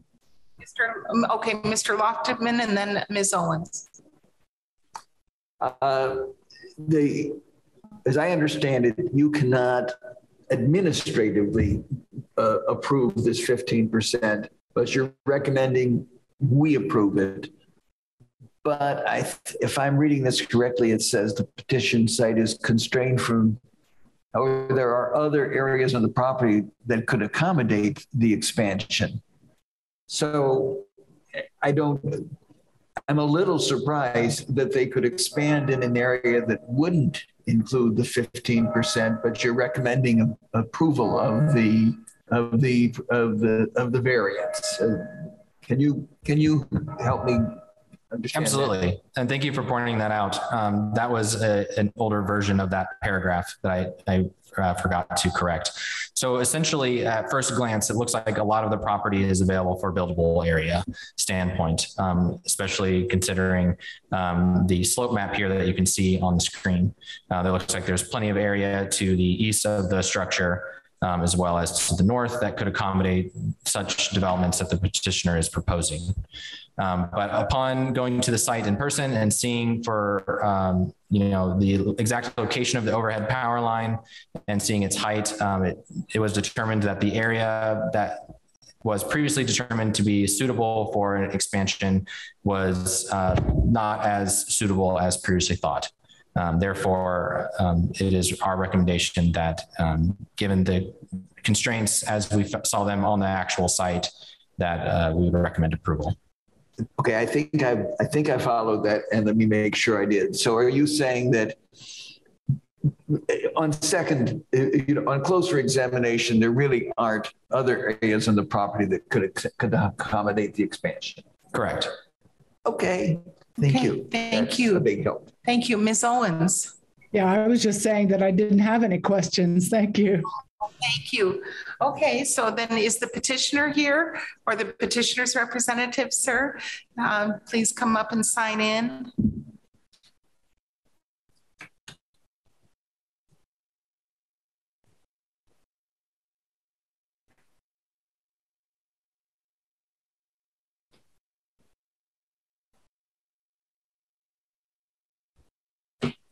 Would you please state your name? It's Robert D. Hohen Jr. Hohen. Like Hohen in a garden. Okay, thank you. Thank you. Hohen in the garden. It's Would a you hard one. Please raise your right hand. Do you swear to tell the truth, the whole truth, and nothing but the truth? I do. Thank you. And uh, just tell us what you'd like to do and your reasons for it. So several years ago, um, we started the process of building the house or looking into it. Uh, decided we were going to buy a place, and the market went crazy. So we figured, okay, we better go build. We got this land. Um, I had a company come out and was going to build it, and he looked at the slope and he's like, "Yeah, that's that's you know it's over the 15, but I, you know we could probably get this going." You know, and I said, "Okay." Well, I ended up not using him or nothing. Um, year goes by or so, we designed our own house. Had a guy come out, built it all, uh, or designed it all, and another situation about the front, which I wish I could have built out front, but there's a septic finger system and tank out there too. So our only spot was to really to go out the back. And um, I'm actually building the basement deeper than than a normal basement just to accommodate for some of that slope to try to get in that when they put the the original house in, that slope in the back was um, my surveyor guy said that that's kind of artificial dirt. That's what they pushed over the end. And that's why that slope seems so bad, but it, it's still over the 15% slope. Um, but as you get to the bottom of that picture that you saw, it does kind of start to come back up just a little bit. So it's not too bad. And we think that the deep basement's really going to help out with that. So, um, but that's other than that, uh, Mr. Myers hit, you know, everything else on the head. So he's, he done good research. So. Thank you for that, Mr. Hohen.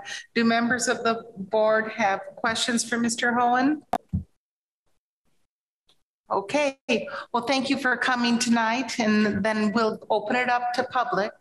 And uh, if anybody contests too much, you'll have a chance to come back. Is there any member of the public who is present who would like to speak either in favor or in opposition to this request?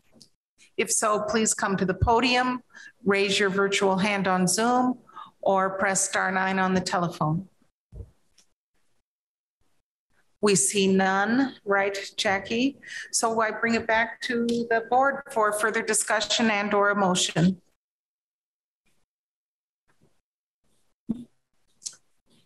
Uh, I think we can make a motion on this. Oh, that'd be great. That would be good, yes.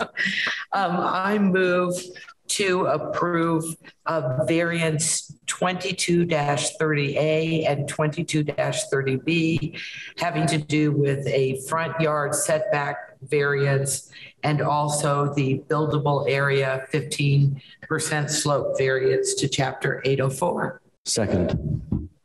Okay, it's been moved and seconded to approve VAR twenty-two thirty A front yard setback and thirty B buildable area. A motion has been made to approve. A vote in favor is a vote to approve the variances. Pamela Davidson, Uh, yes. Margaret Clemens? Yes. Skip Daly, Yes. Guy Loftman, Yes. Dee Owens. Yes. Motion carries five to zero. Thank you, Mr. Hohen, for coming and Mrs. Hohen. Have a beautiful build. Okay, thank you. Uh, We're going to move now. There are three um, variances concerning the porthole tourist cabin. Um, Their variances twenty-two thirty-one A, twenty-two thirty-one B, and twenty-two thirty-one C uh, pertaining to minimum lot size, front yard setback, and tourist cabin, uh, condition forty-eight D four to chapter eight oh two.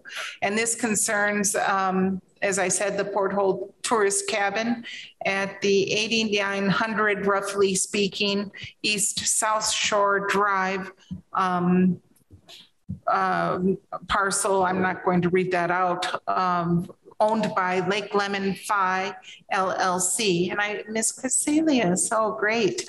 We'd like to he- hear the porthole story. All right, thank you. Okay. Okay, so we saw this a few months ago. Oh, not a few months ago. It was in May. Um, the porthole in their tourist home and cabin um, received a- an approved use variance for tourist home or cabin use for short-term rentals. Um, so they were required to submit a commercial site plan, is, which is the next step for a tourist home or cabin. Um, we knew that we would be looking at variances. We just didn't know exactly how many and what. Um, so they got their certified site plan from Deckard Land Surveying. Um, so we have three variances here uh, that we're looking at tonight. The minimum lot size in the suburban residential zone is only required if all the other design standards can't be um, met. So since there are other variances that are needed, the minimum lot size is also required. So the property is 0.19 acres and the minimum lot size for the SR zone is one acre. Um, this is not particularly unusual for the Lake Lemon area. there is a front yard setback requirement from chapter 804. Um, so this would be a yard fronting on any street. So technically it is a corner lot. Um, we did a little bit of digging into this and our definition of street would still include kind of that private driveway. Um, so there is just one 25 foot setback where the existing structure is, um, let's see, is 19 feet from the property boundary. So a six foot encroachment. The third and final variance request is actually from the standards of a tourist home or cabin. Um, it states that parking of vehicles in any yard or setback um, is prohibited. So because of the site plan, I think I have a closer, there we go. Um, because of the parcel um, and its configuration, it also contains a pretty large septic field. Um, all of the parking for the, the cabin is, is located within that front setback. Um, So the slide that I just zoomed right by, this one is just a parcel size map. This identifies all other, it highlights in green all other parcels nearby that are one under one acre and also zoned SR. So as we can see here, it's not really an unusual occurrence uh, off of South Shore Drive.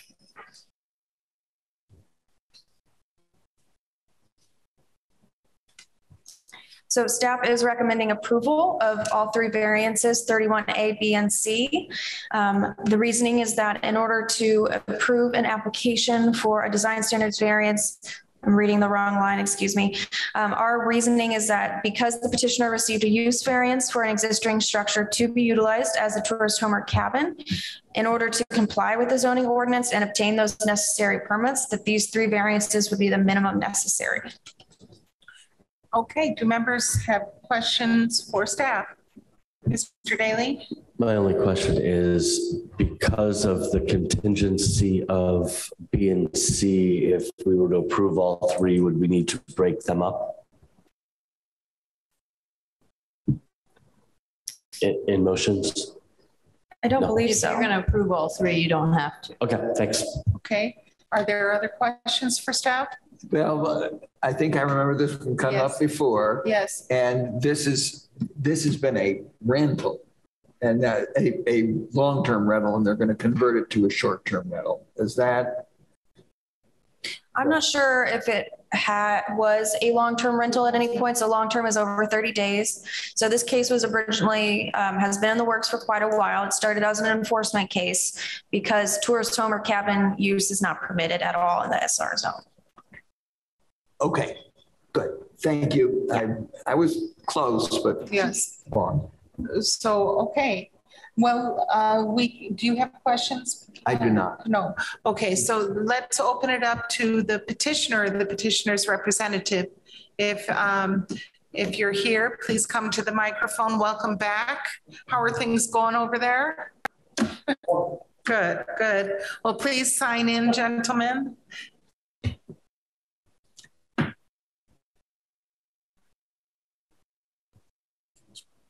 And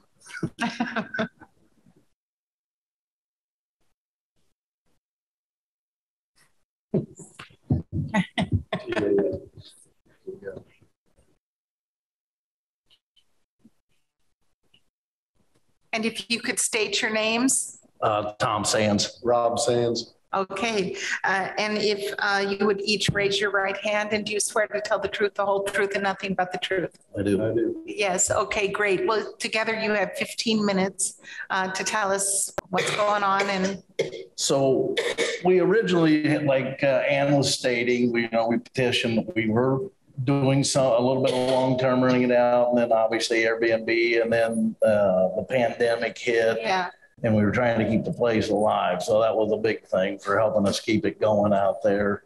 Um, other than that, we went through the due diligence of bringing everything forthcoming. So I would state, I mean, I would hopefully we would get it approved. There's some new owners have taken over since then. We've we've turned it over. We're trying to help them through the end of the year. That's our goal. uh-huh, Keep the porthole alive. Uh-huh. Is, and do you have anything else to add? No?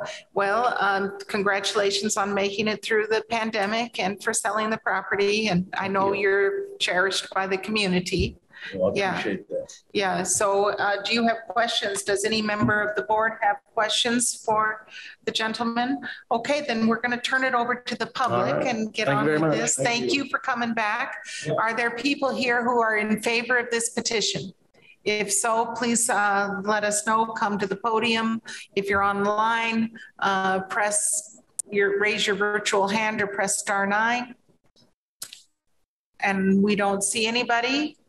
Is there anybody opposed in the room, online, or on the telephone?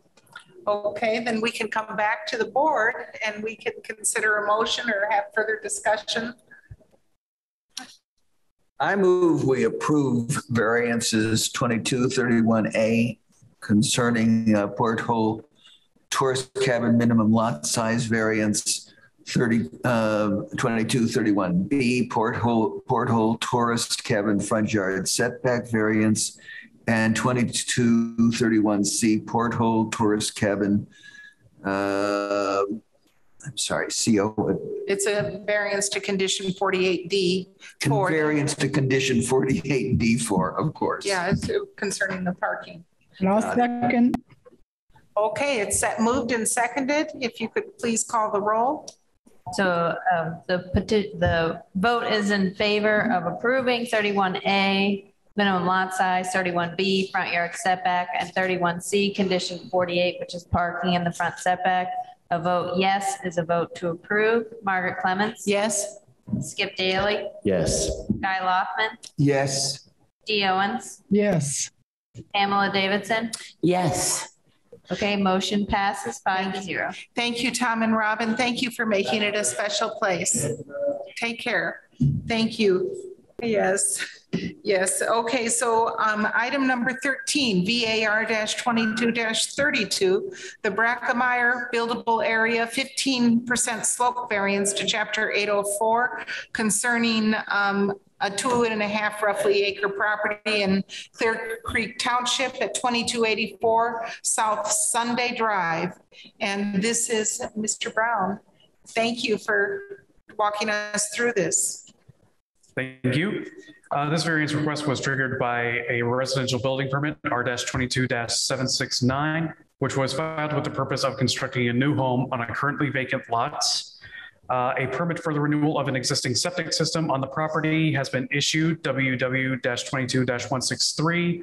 A permit has also been issued for a driveway entrance, RW-22-230, but final inspection is currently on hold pending the decision of this variance.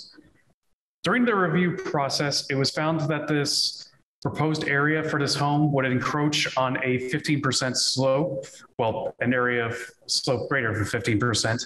Due to this, the variance was applied for. However, during the research process, it was found that back in at least 2005, as seen in the picture on the right, that this area was part of a baseball field, and the slope on this lot is considered to be man-made due to that. The construction plans for the home also include a walkout basement, which will work with the slope and reduce land disturbance during the construction process. Here we see on the left a sort of zoomed in plan of the air of the proposed residence. And this air, and on the right, we see a site plan that kind of shows the dip that the slope causes. But again, a walkout basement is proposed, which will significantly work with the slope and reduce environmental damage.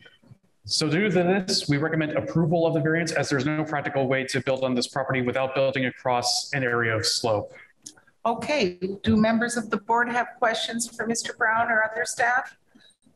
No? D, okay. Uh, Then if um, um, Mr. Busby or Ms. Brackemeyer are here and would like to address, or their representative, or and would like to address the board, uh, please come to the podium or, oh, I see online, the hand is raised by Mr. Busby. And so if, uh, he needs to be unmuted by tech services. And Mr. Busby, you have 15 minutes if you're able to unmute yourself. Hello, yes. Um, my name is Levi Busby. I appreciate you guys uh, getting this on your docket for this evening. Um, appreciate the recommendation of approval by Mr. Brown and his staff.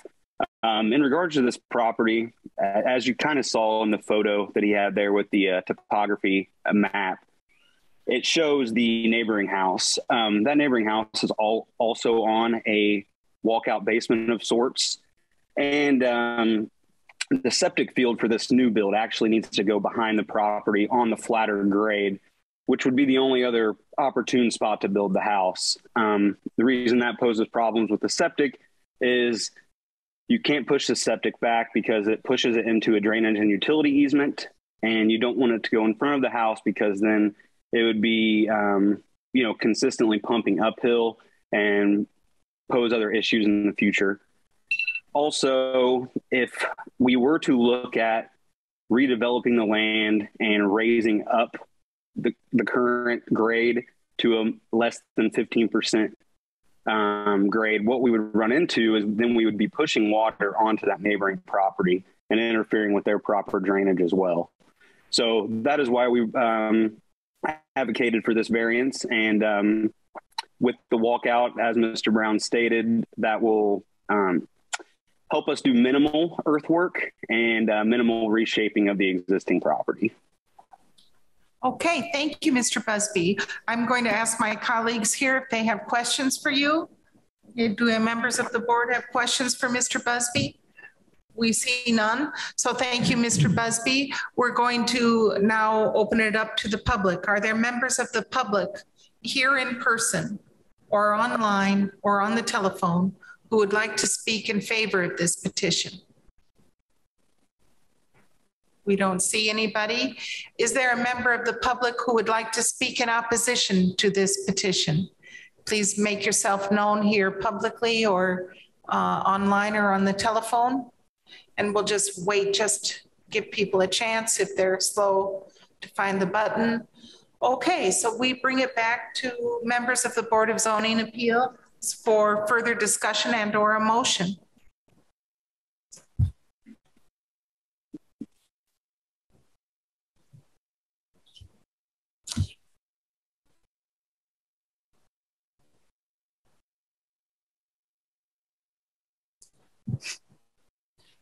We're looking at you expectantly. If we're looking at me, Hopefully. I, I will. Oh, yeah, go right ahead. Oh, that would be great. and variance uh, twenty-two thirty-two. I will motion for approval.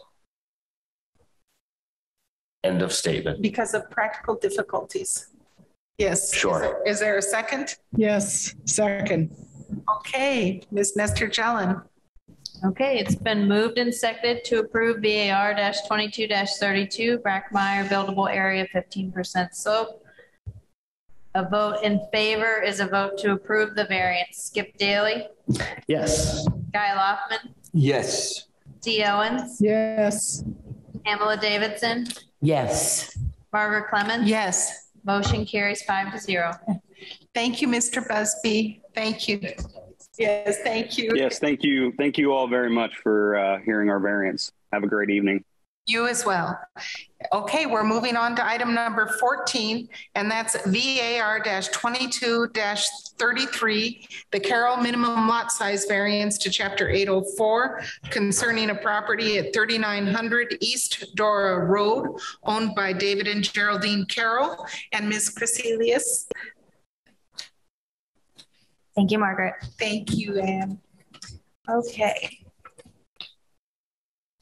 So the petitioner is requesting a minimum lot size. Um, This area requires, the so the area is zoned agricultural rural reserve, so it does have a minimum lot size of 2.5 acres. The property is currently 1.33 acres and is unplatted. So the site was originally developed with a single family residence um, and it did experience a fire earlier this year.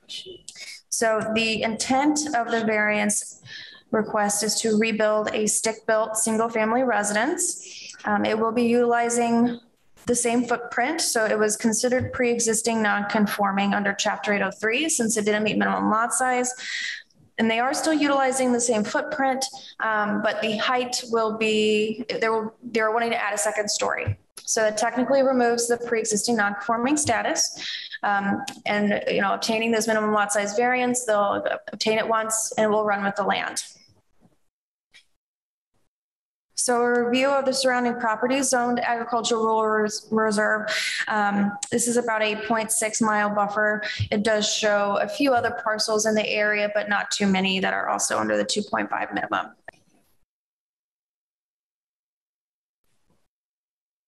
So this is their certified plot plan. Um, so that's the same footprint.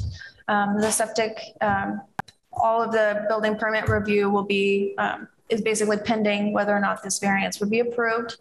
Um, so they have gone through. So because the building was technically um, kind of burned, and it's now a, a, redevelopment, so they did have to obtain this certified plot plan um, versus properties that are already developed um, wouldn't maybe only necessarily need to get a, a, a site plan that's scaled and not necessarily certified. So staff does recommend approval of the variance from the minimum lot size from chapter 804. Okay, um, I'd like to give the owners of the property our condolences for the burn of their home, and we're sorry for that.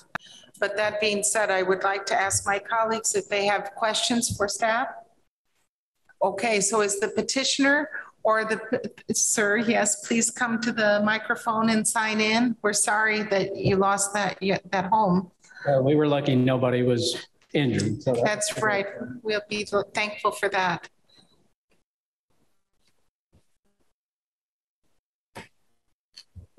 And would you please state your name? Yeah, David Michael Carroll. And please raise your right hand. Do you swear to tell the truth, the whole truth, and nothing but the truth? I do. Thank you. Thank you. So just tell us what you want and. Well, so we, we bought the house from our uh, some friends of ours who in 2020 when the pandemic hit. Um, I work in healthcare. My whole family works in healthcare. And um, so there was a lot of panic going on, and our elderly elderly neighbors wanted to sell the, the house so my wife and I, I took a chunk of my uh, retirement to uh, buy it. That's our, going to be our retirement location. And, um, and then in February this year, we had the fire that, that destroyed it. Um, and all we're asking is just to rebuild where it's at. Um, we're not going up a true second story. We're just going to have 16 foot ceilings instead of eight foot ceilings, and then a little loft area in the back for our grandkids' playroom and me an office so I can work from home some. So That'll um, be nice. And that's really all we're asking for. Well, thank you for your service throughout all oh, this welcome. crisis. And I'm you're sorry that this uh, happened to you during that difficult time. So I'm going to ask my colleagues if they have questions for Mr. Carroll. No? And um, okay, well, thank you for your testimony. If, if I could say one thing, yes. being being in healthcare, and. I don't want to take your time, yes. I know the notes from these meetings don't show compassion, but the compassion that you guys showed to that gentleman earlier who was caring for his mother should be documented somewhere. So well, thank, thank you, for, you that. for that, sir. We, and I know he really appreciated that. Yeah, and so. we are a community, and even though we're sitting here behind the desk, you know, we we're trying to help our community and right weigh everything and we know it's not easy for yeah and we appreciate the, the, the, folks down at the at the planning department they they've really they had to spoon feed me because i've done my best to stay out of courthouses my whole life. So i really didn't know any of the process so they were very more than helpful. So well thank you, thank you mr you. carroll. Um, well, now I'm going to open it up to members of the community. Are there members of the community who would like to speak in favor or in opposition to this petition? If so, please come to the podium, raise your virtual hand, press star nine. If not, we can entertain a motion or further discussion. I move we approve variance 22-33 Carroll minimum lot size variance, lot size variance. I'll second that. Okay, we have to give the reasons, and the reasons are practical difficulties, um, uh, that the proposal will cause the least harm or uh, uh, aggravation to the soil and neighbors, and that there are economic considerations as well, and that uh, this is the minimum variance necessary to eliminate practical difficulties in the use of the property. So, and it doesn't promote any conditions detrimental to the use of this property or surrounding properties. Does that satisfy it? Okay, so um, would you please call the roll? It's been moved and seconded to approve VAR-22-33, the Carroll minimum lot size variance to chapter eight oh four. A vote yes is a vote to approve. Guy Loftman, Yes. Dee Owens, Yes. Margaret Clemens. Yes. Skip Daly, Yes. Pamela Davidson. Yes. All right, motion carries five to zero. Thank you, Mr. Carroll. Thank you. Good luck in your home, and I hope it's everything exceeds your expectations. Thank you. Okay, so we're moving on to item 15. We're moving along here. It's VAR twenty-two thirty-four. Um, can we discuss these together? Okay, and variance 22-36 for Arnold General Contractor, a use variance for Lot A and a use variance for Lot B concerning properties at 7850 North Wayport Road and 7854 North Wayport Road. And um, and Mr. Myers, we look here forward to hearing from you about these. Thank you. All right, so this one's a little bit different. This is a use variance request, not a design standards variance request. So the conditions or standards that must be met uh, to receive staff support uh, are a bit different. Um, instead of uh, practical difficulties, there is uh, hardship or unnecessary hardship. So that is one distinction that I'd like to point out before beginning. All right. So this is VAR 22 34 and VAR 22 36. Both of them are the Arnold General Contractor use variances to Lot A and Lot B of the property located at 7850 North Wayport Road and 7854 North Wayport Road. The request is for two use variances because they are two separate lots of record to establish a general contractor business at this uh, location. Lot A is 6.65 acres and lot B is 6.21 acres of the former Worms Way type A plat. Uh, the petitioner desires to relocate his general contractor business, which is currently located at 3440 South Leonard Springs Road, to the subject property. Uh, it's zoned agricultural rural reserve and was originally developed pursuant to a 1995 special exception for agribusiness to allow for the establishment of Worms Way. So general contractor is defined in chapter 802 and it is listed as permitted use in the following zoning districts, general business or GB, light industrial LI, and heavy industrial HI. It is listed as conditional use in the agricultural rural reserve zoning district However, looking at uh, chapter 813, which talks about conditional uses, um, it specifies that a, a general contractor uh, as a rural category. Um, so the standard definition of a general contractor um, does not apply for this particular uh, use in this zone, only a rural version of it. Uh, we can expand on that if we have any questions in a bit. Um, so basically, since the uh, the use of general contractor is not permitted in this zoning district. Um, in order to receive approval, uh, the petitioner is um, able to either petition to uh, a establish a use variance, which enables a particular use to be added to the specific property in a zoning district that does not normally permit that use, or that they can uh, submit a rezone request, which goes through the plan commission process and is ultimately decided upon by the Board of Commissioners.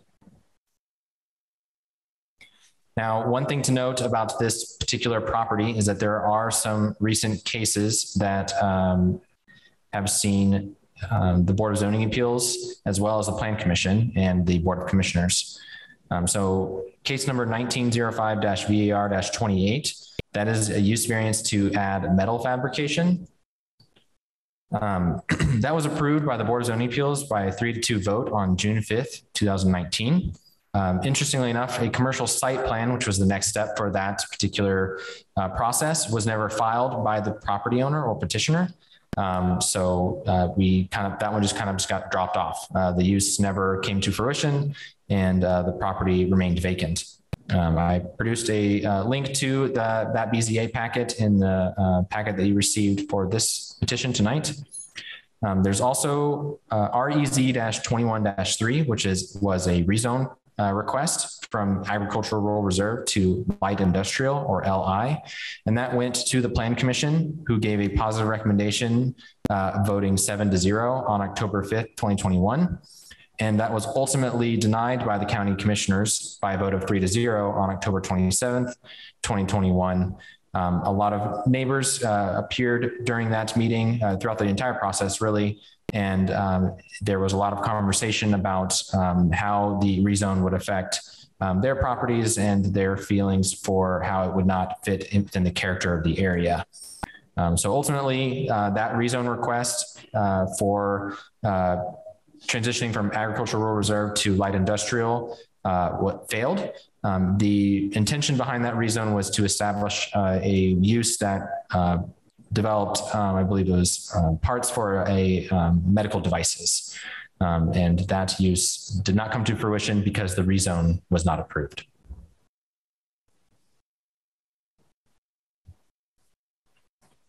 Okay, so getting back to some of the details of the property itself, it is the former Worms Way site.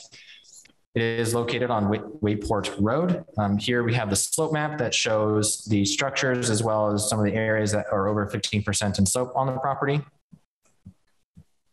And here we have some aerial pictometry of the petition site, as well as, um, you know, a general area of some of the residences in the area.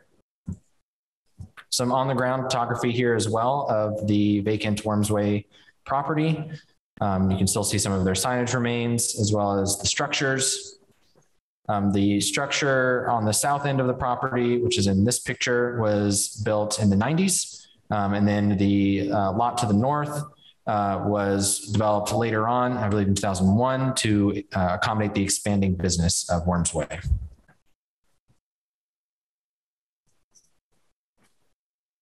Some of the items that would uh, follow this petition, if it were to be approved tonight, uh, would be to submit a commercial site plan, uh, change in use specifically. Um, so changing from the agribusiness use to um, the general contractor use constitutes a commercial site plan and updates to that commercial site plan regarding um, current conditions such as uh, or standards such as parking, landscaping, um, and bioretention would all be evaluated at that time.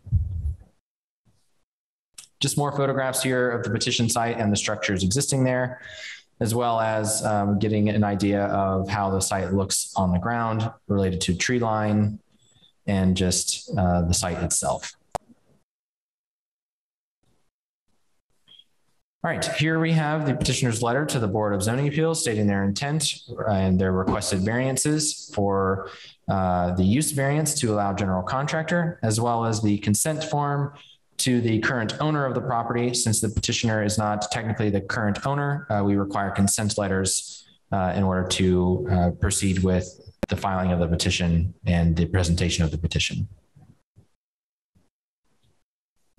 Next, I have some items here that uh, cover the petitioner's plans for the property. Um, so these are just uh, rough uh, depictions of the site plan that they intend to implement. Um, building A is the south proper south structure, building B is the middle structure, and building C is the northern structure. And um, this is all included in the packet as well that was produced. Um, so they are intending to store some equipment uh, behind building C, which is in the north um, as well as do some work in um, the other areas. They intend to park vehicles between buildings A and B. Um, and the other images that you see here on the right side of the screen um, on this page and on this page are of the existing business, uh, which is on Leonard Springs Road. So kind of showing you how they want to tailor their current use at that location to a new location, which is the petition site. Here I've also included the uh, Wormsway Administrative Type A subdivision plat, uh, which indicates that both lots are individual lots of record, as well as um, you know other details such as um, easements and lot dimensions. And here I have included a use table for the RR zone. Um, so all of these uses here uh, are what are permitted in the agricultural rural reserve zone. You'll note that um, in here, general contractor is listed as conditional. Again, that's general contractor rule, which specifically requires there to be a residence on the property. Um, so since they don't fit that specific classification of rural general contractor, they have to go through the use variance process uh, instead of the standard conditional use variance process, which you would see normally for a use that is listed here with a C for conditional. Um, the columns that have the little I, um, that's just the level of intensity that's related to that specific use. Um, we use that for different um, applications, um, but I don't believe that that's really um, too much to think about with this petition specifically. Okay, that brings me to staff's recommendation. Um, due to uh, the, the criteria that use variances normally have to follow, uh, the five criteria A, B, C, D, and E listed within the agenda packet, um, specifically um, item D, which is the strict application of the terms of the zoning ordinance will constitute an unnecessary hardship if applied to the property for which the use variance is sought. Um, planning staff is recommending denial of both use variance requests, um, citing that there is no substantial evidence that the property cannot be utilized under one of the permitted uses listed in the Ag RR zoning districts, and therefore it does not meet criteria 812-5D. I will now take any questions.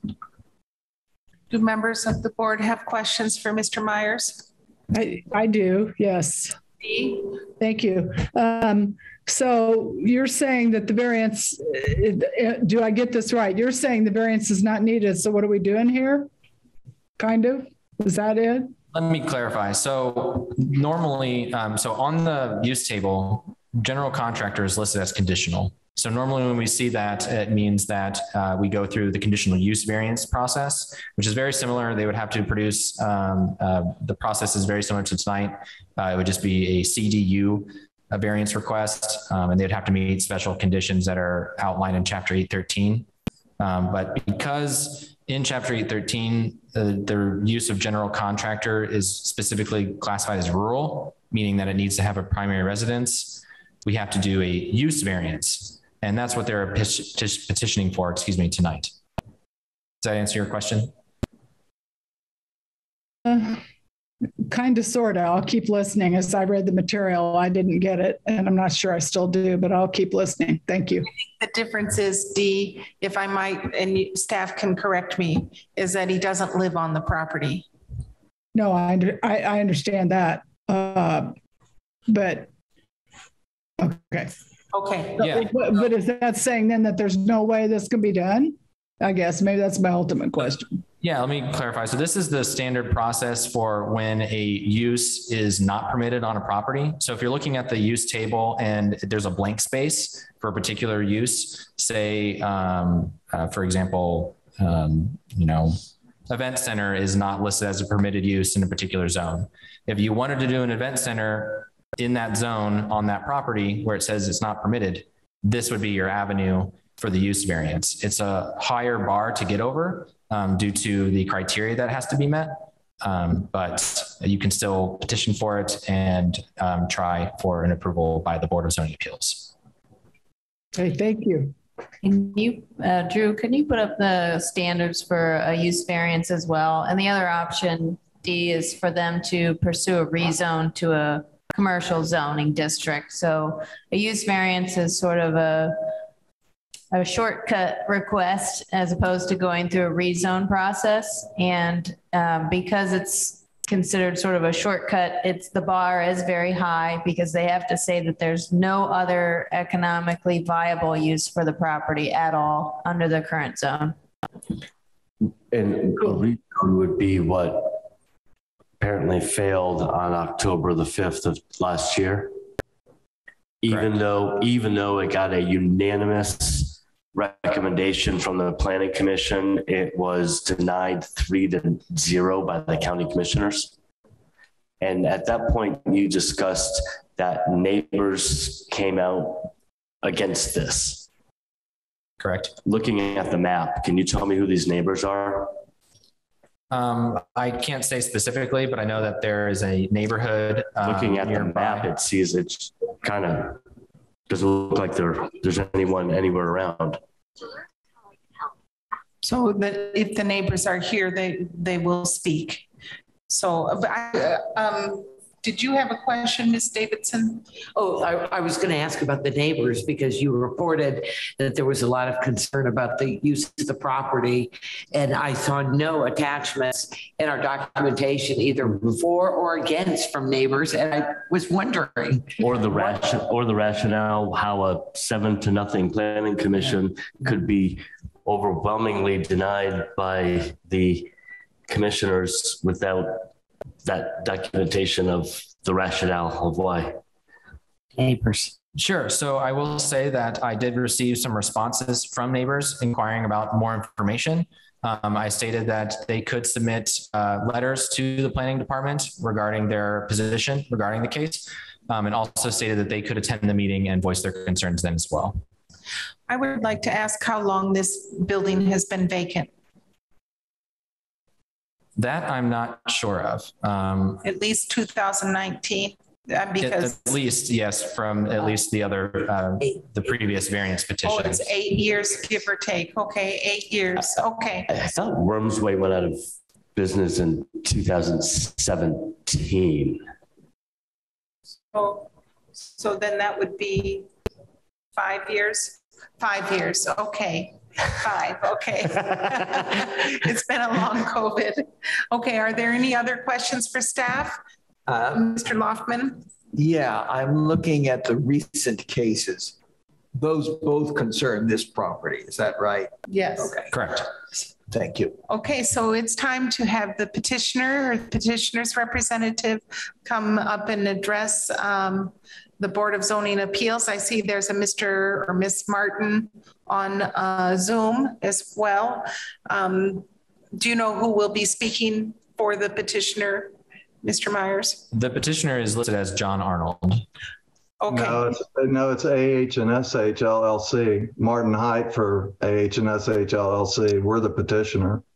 Oh, yes, Mr., well, uh, is your name, well, would you please state your name, sir? My name is Martin Heydt, H E Y D T.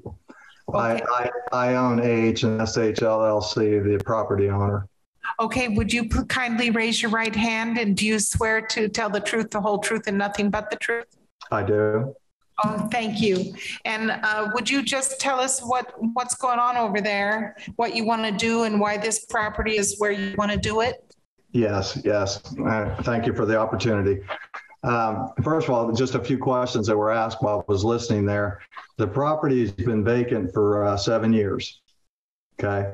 Uh, The way I understood it, and now I have a little more clarification from Drew, a a rural, a rural general contractor is allowed in an ag zone. And now I understand what, because he's not going to live on the property, there's no way to live on that property, commercial property he is basically petitioning, I am or he is together, to allow a general contractor, not a rural general contractor, which requires a little more uh, information. So what I'm, I'm going to first speak to the reason of the denial. You know, that, that no substantial evidence exists, that it, it cannot be utilized under one of those permitted properties. The property's been for sale for seven years.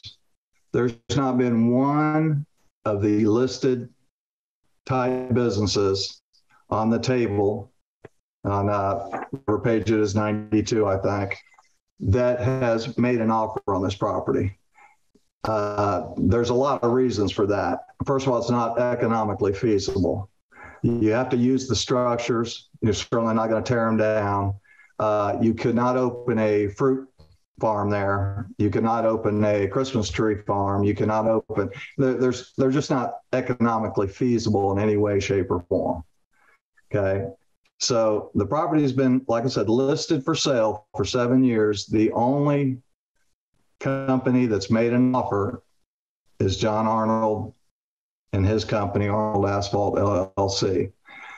He we determined, well, you are a general contractor, as he's been told by the by the county. You're considered a general contractor, but now I understand the difference between general contractor rural versus general contractor. So that's the variance we're going to seek. Can he go in there as a general contractor? What does he have to do to do that? Okay, so I want to make that real clear. It's been on the market for seven years. Now I'm going to speak to the reason to grant the variances. Financial hardship. Since the property's been vacant for five years, it's been on the market for seven years. Worms Way was in there for two. In the five years it's been vacant, I've invested $800,000 in maintenance, upkeep, et cetera, including 200,000 in property taxes.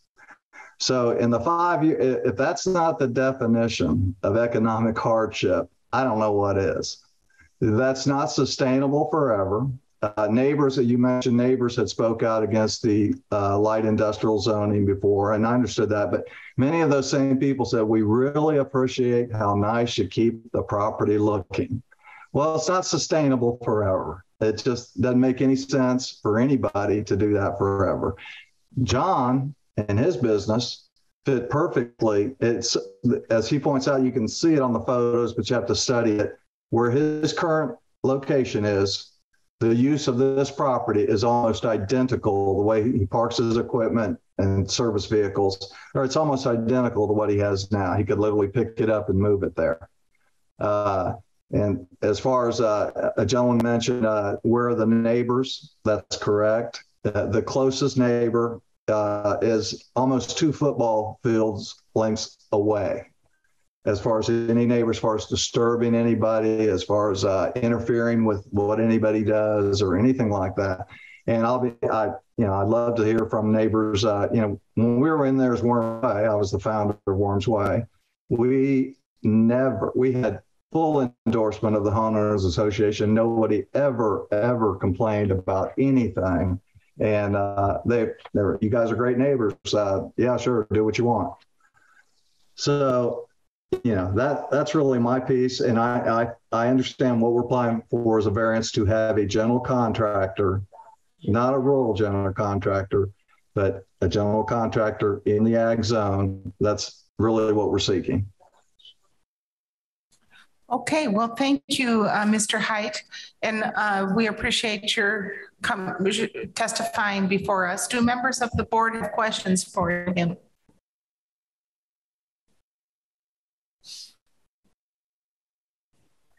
Uh, my only question was, uh, is this uh, request uh, went before the commissioners to change it to light industrial? Was that the first time they've tried to change that zoning or use in the seven years since it's been on the market? Yes, correct. Thanks. Yes. Uh, can I speak to that also? Yes, sir. Uh, they basically, the logic was two reasons.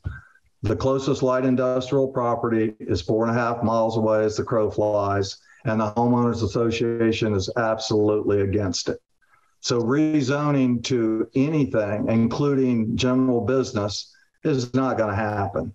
Uh, I realize in the upcoming zoning changes or designations that Oliver Winery would be called limited business. They're now called uh, pre-existing. The gas station south of there will be called limited business.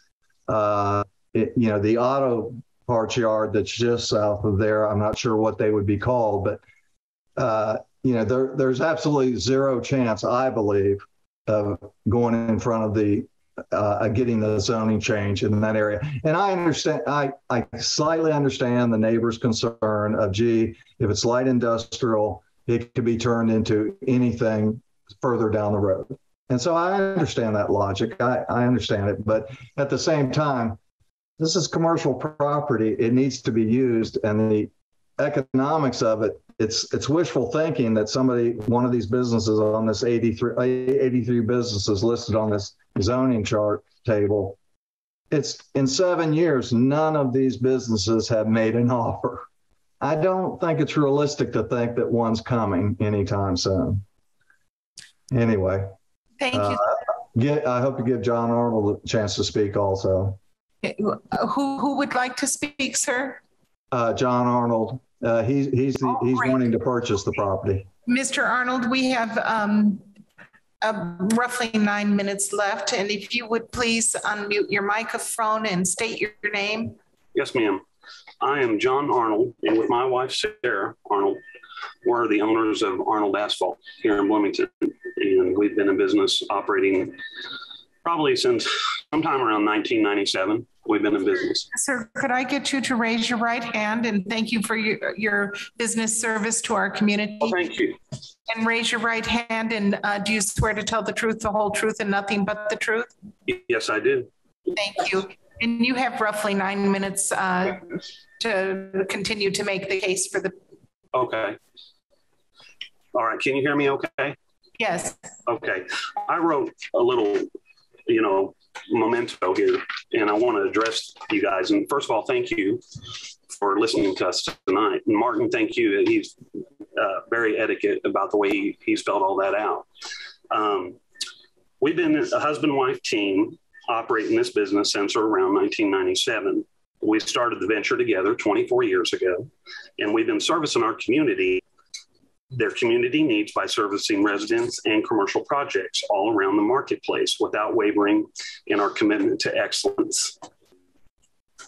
Our line extensions of business pertain solely to asphalt maintenance and installation out in the field, not production or manufacturing on the site. We want to be very explicit and be on the record that we do not manufacture asphalt or asphalt related materials or products and do not intend to expand our business at that location for any of those purposes. We do, however, seek a place that has the accommodations we need to run our current business. Our services takes us through Monroe County and surrounding counties abroad. Nothing we ever do is performed where we reside. At my current location, I have received a letter from the Monroe County Planning Department that infers because of our size and our growth, I must rezone to GB, light industrial, or heavy industrial, or relocate. We have come to learn it is nearly impossible to rezone here where I am because I am in an RE1 zone. After educating ourselves, we have done a lot of legwork and looked around before choosing the location where we would be close to family. My wife's family lives within a mile or two of that location. And something that would suit our needs. That Worms Way building, it suits our needs. And we believe that that location, which has a complete covering from all sides and is discreet for our operations. As you are aware, the property is currently zoned AG, but does allow general contractors and has restrictions. Our sole purpose is to expand to this location because where we currently operate, it's an RE1 zone, and we become too small for operations here. Um, if we're denied the variance to continue operations, we do stand a very real chance to be in serious financial hardship if the variance we seek fails.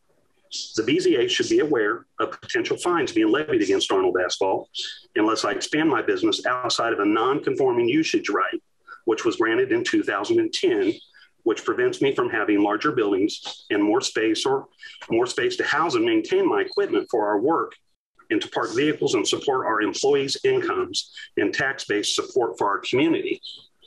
For us, expanding to a larger facility plat that allows businesses is my only viable option at this time. And the market does not lend itself to anything that I see as a proper fit for us other than the location that we seek a variance on you know, I know tenure is a word that is an academic word used in professors and colleges, but I have to admit, I have many employees who I feel have tenure here because they're loyal, they have integrity, they have character and work ethic, and have been with us for many years. They depend on us, and they depend on this as much as we do. Thank you. Thank you, Mr. Arnold. Thank you. Is there anyone on your team uh, who also would like to speak? Is your wife wishing to speak? Yeah, my wife is present. Sarah, do you want to say anything? Do you, I, I just want to say that. Um, Sorry, I need to swear. If could you state? Sorry. And, and raise your right hand. State your name. Sarah Arnold. And do you raise your right hand and do you swear to tell the truth, the whole truth, and nothing but the truth? Yes. Thank you. Okay, sorry for interrupting you. That's okay. Um, yeah, um, I'm Sarah Arnold. Uh, this this property would be great for us um, to run our business from. Um, we have very loyal um, employees, and it would just be you know great for us to and have a big opportunity to be running our business from here. Well, thank you very much for speaking with us tonight. I'm going to ask my colleagues if they have questions for you. Yeah. Mr. Loftman. Hello, Mr. Loftman. Greetings.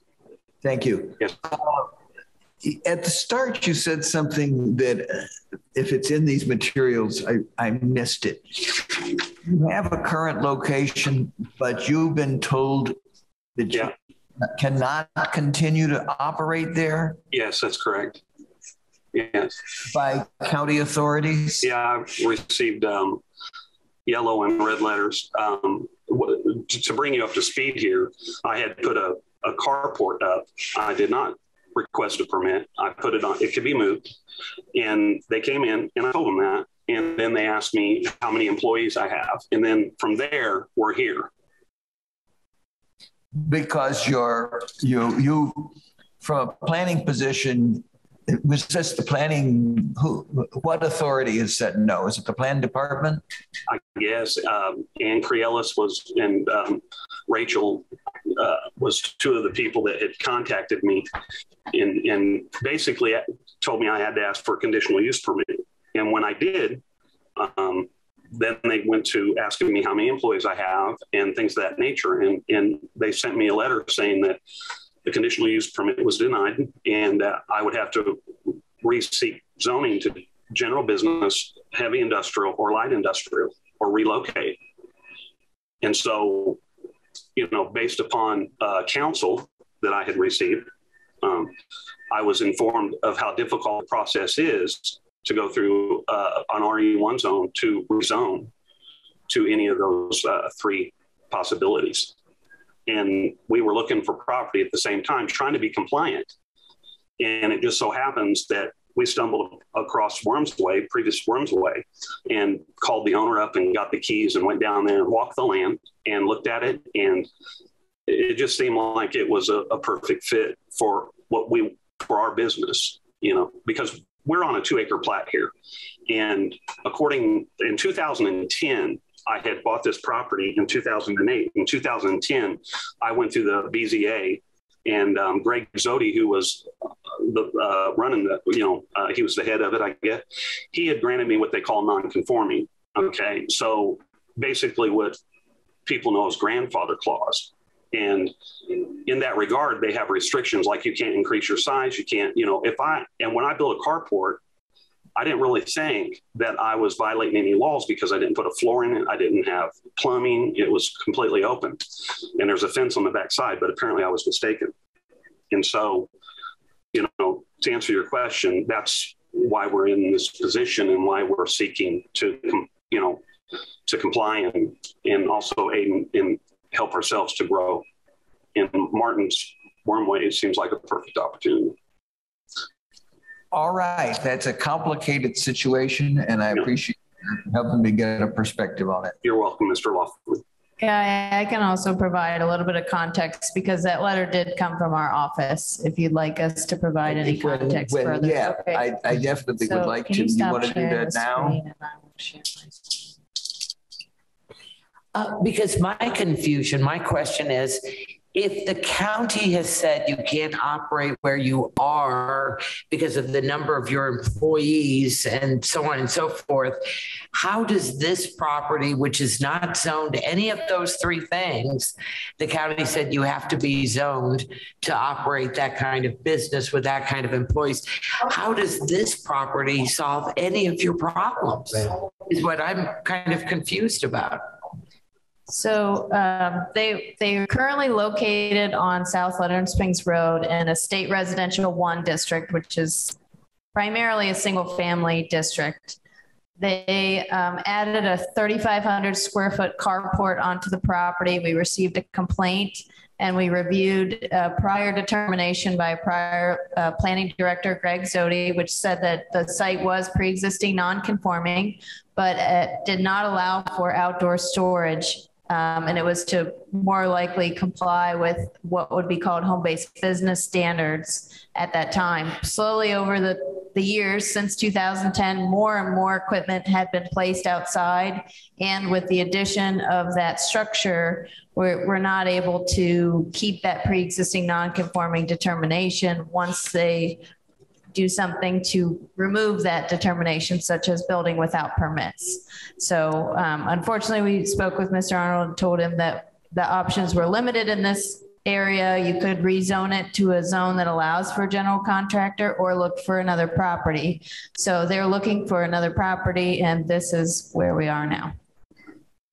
So, thank Mr. Daly, do you have any questions? Okay, well, I see a good members of, oh, Dee, do you have a question? Uh, no, I do not. Thank you. Okay, and there are uh, several members of the public who are here. And if you are here to speak in favor of this petition, uh, please come up to the podium, raise your virtual hand on Zoom or press star nine. And if you're here to speak in opposition to this petition, uh, please make your way to the podium, sign in, and uh, thank you for being so patient tonight. Each member will have three minutes to speak, and the, the process is people will sign in, your name, I'll swear you in, and then you have three minutes. So would you please My state your name is, name? uh, my name is Randy Barnes. I'm the homeowners association president for the Windsor Private Homeowners. Thank you, Mr. Barnes. Would you please raise your right hand and do you swear to tell the truth, the whole truth, and nothing but the truth? I do. Thank you, Mr. Barnes. So you have three minutes. Three? Three, yeah. Okay. Uh, If you could refer to the photographs you have of the aerial photographs of the property, the one that was zoomed back a little bit.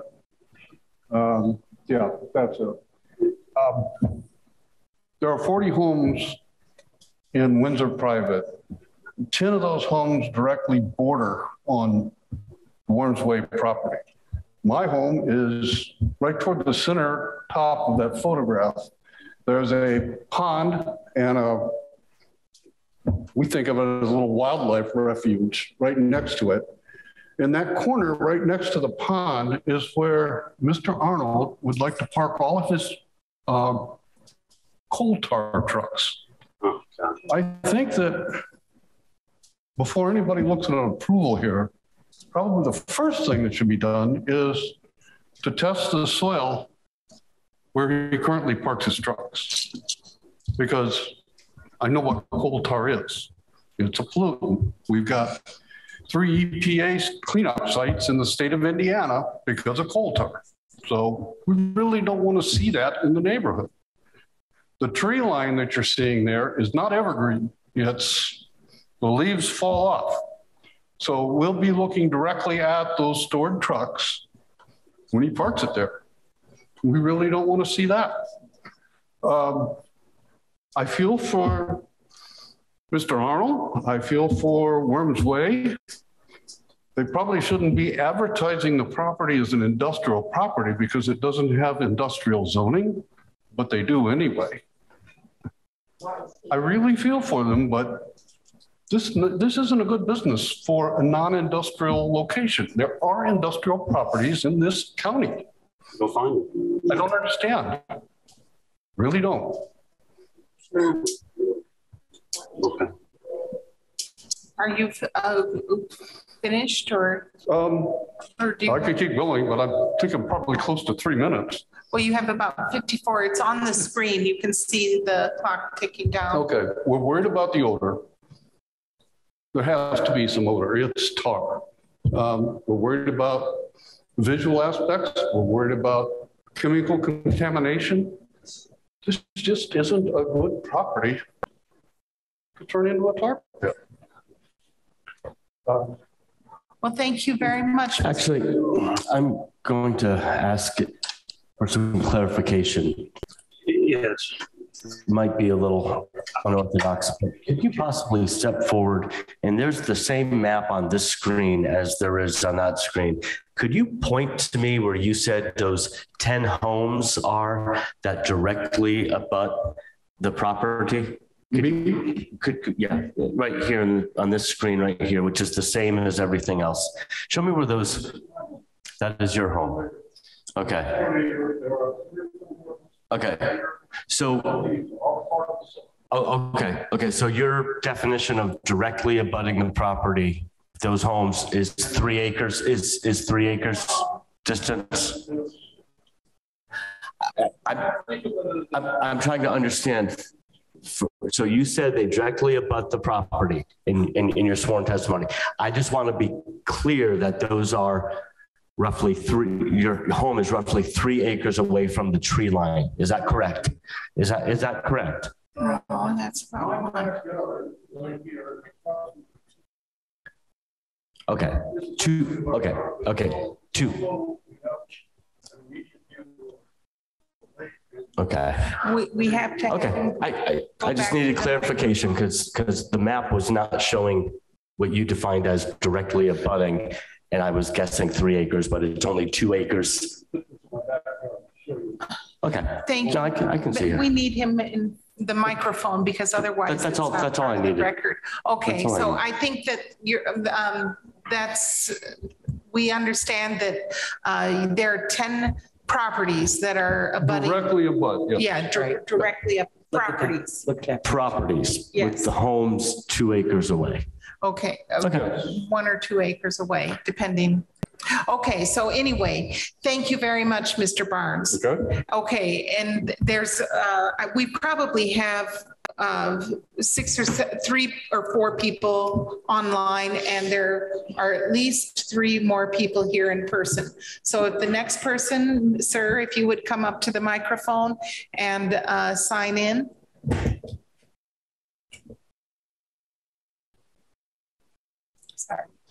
Yeah. Yes, yes. Property, yeah. And would you please state your name? Yeah, my name is Brian Booz. Mr. Booth, would you raise your right hand and do you swear to tell the truth, the whole truth and nothing but the truth? Yes, I do. Thank you, Mr. Booth. You have three minutes. All right. Thank you uh, Yes. for everybody's time. I'm a resident uh, in uh, Windsor Private, um, as well as as several of us are here tonight. Um, I wanted to kind of start with less than a year ago, yes, we did go through a similar process with the rezone proposal to light industrial. Um, I was involved in the middle of that, so we went through many of the discussions with some of the same crew. Eventually, that was uh, rejected. Uh, when I look at this, uh, and what I just heard from the petitioner was, uh, you know, they're being ousted by the county from their current location because of some pressure to rezone that particular property. They know that a past effort, recent one to rezone to light industrial in this area failed. Um, I see this activity, this variance request as kind of another avenue to get a similar result without actually going to the rezoning process for this, because I think they know that would fail as it did the last time. So we're going through this variance request. But the variance itself, the request is virtually identical to what a rezoned general business would be. I think this is just another path to that same result, uh, is why it's being pursued in this manner. And I think all the same reasons that the last one failed, uh, the harmful uh, effects on the neighborhood, environmental, all that, which I think we're going to hear from several residents here in a minute. Um, those are still there. This is the same thing. It's just another path trying to get the same result, um, which which failed for for several reasons. We can look up that past case. When I look up in your own website, you know what would be allowed under a general business, which, like I say, this uh, variance request is virtually identical to that. The, the door is just wide open for things. If not this particular applicant, being Arnold Asphalt, um, you know, a next one, a lessee, somebody else. If this is applied to the property, the door is wide open for many, many, many things. Um, so I think this this request is, uh, you know, somewhat of a, I want to say it, it's, it's another way to get a rezone without going through the rezone process uh, is, is how I see it. Um, we heard earlier uh, from the current owner that uh, you know no offers in seven years and all that. That's a financial thing. That's not the property couldn't be used. If I value, if I price my own property that I own at two or three million dollars, it'll sit on the market for seven years. Uh, that's up to the owner of where's that line where I can drop it to sell the property. That's not a, the property could not be used uh, as, as it's currently zoned that's a decision on the part of the business. It's a business decision on the part of the owner of where is he trying to draw that line. You hold it up high enough, it may sit on the market forever. That's not a you know a zoning uh, hardship type thing. That's a business decision he has made on what price he's going to put on that property, and therefore it stayed on the market. Um, so. And, the other part, we just saw this picture. Uh, well, it's sort of it's still up there um, included, we're talking about individual properties. May I interrupt? Your time has ended. Yes, sir. Ah, okay, Thank I'm you. sorry. Okay, thank you for your uh, patience and waiting for your turn to speak tonight. All right, thank you. Okay, thank you. And uh, is there someone else present who would like to speak in opposition to this petition? And uh, on the television, you can see the countdown clock, three minutes, and I'm sorry um, that we have to do that. I know, and the gentleman who is appealing will have an opportunity to rebut as well, just to let you know our process. So uh, You can lower the We also microphone as well. so could you please, uh, first of all, lower the microphone so we can hear you and state your name? Okay, my name's Irene Miksik.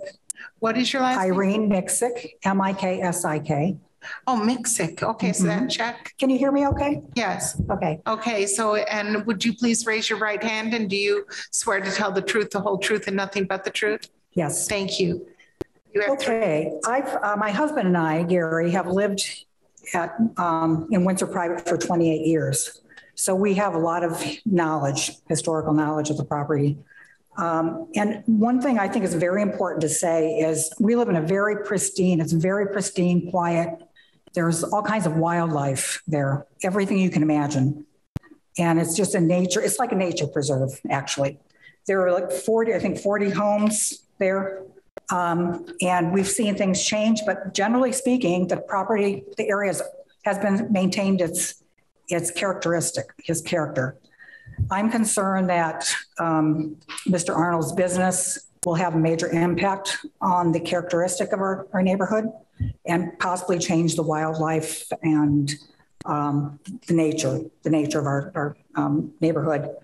Um, one of the things that the owner mentioned was that their existing property, when they were in business there, Worms Way, never impacted our neighborhood. And he's right.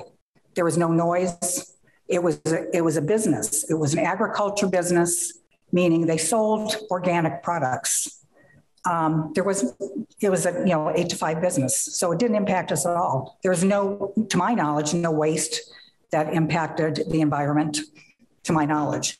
Uh, again, it was organic business. So I'm concerned, as um, Brian Booz mentioned, I think it was Brian, that the asphalt company that Mr. Mr. Um, Arnold is planning to park his equipment in Building C, um, which is directly adjacent to the pond, which, was supposed to be a lake originally, which is a significant issue. The lake, so so-called lake, has has was leak was leaking. It actually leaked. It has karst under it, and we our property is on karst. Most of our our property, our, our neighbors, at least in our area, and my house is across the road from. I'm trying to figure out where the property is.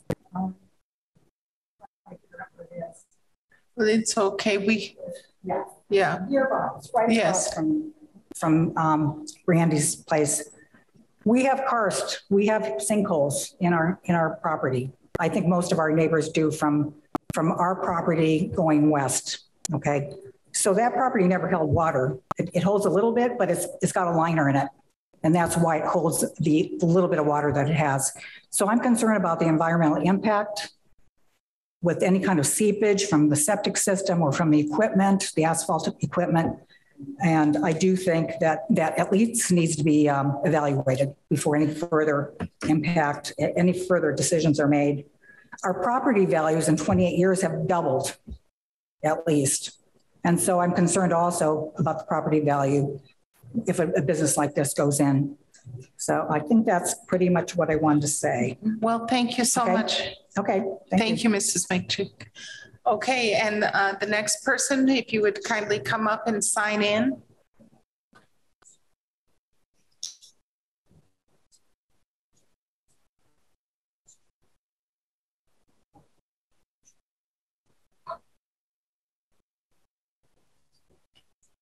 And state your name Warren Aubin. Lauren, and what is your last name, sir? Aubin, A U B I N. Okay, thank you, Mr. Robin. And would you uh, raise your right hand and do you swear to tell the truth, the whole truth, and nothing but the truth? I do. Thank you. And you have three minutes. Great. Thank you. Thank you. So I'm a resident of Windsor Private. And uh, when we moved in there, we knew Worms Way was there. And as I understand it, I hope the facts are correct. Before 1995, that was a horse farm, right? So Mr. Heydt made a decision. He was the owner, and I believe my facts are correct. The owner, one of the owners of Worms Way, they made a conscious decision to have that rezoned agriculture. So from 1995 to 2016, 21 years, I'm assuming he was collecting revenue from Worms Way. They made a decision to move the business from the current location, which again, that's a business decision on Worms Way. So I find it a little tough to understand how the financial hardship comes into play when he knew going into it that it was rural agriculture. Okay. So that's that's one area that I'm have, struggling understanding why it would cause the the board to make an exception or to rule in favor of this. Now, when you look at Jordan Industry, they got it was approved, and the homeowner association was against it. I personally stood up and said I was in favor of Jordan's special variance because I visited the, by that location multiple times throughout the day for almost a month and a half, quiet as a mouse. You, you couldn't even tell they, they were there. I find it hard to believe that the same is going to be true with just by the nature of their business. And Jordan Industry was not going to have any trucks or any equipment parked outside of the building. It's all going to be uh, confined to the building that's the furthest south. So it's a completely different request. And, you know, as you go in, come into Bloomington or travel towards Oliver Winery, you're going to see that equipment. And, and I just think it's the wrong use of the property. So thank you. Thank you, Mr. Robin, and thank you for your patience and waiting tonight. Thank you. Is there another person who would like to speak on this? Um, Please come to the podium and sign in, sir. And maybe raise the microphone so that we can hear you. Yeah. She's sure she's my wife. That's Yes. Yeah. And I'll sign in here. My name is Gary Miksik. I'm the treasurer of the Windsor Private Homeowners Association. Let me sign in here. thank you, Mr. McChick.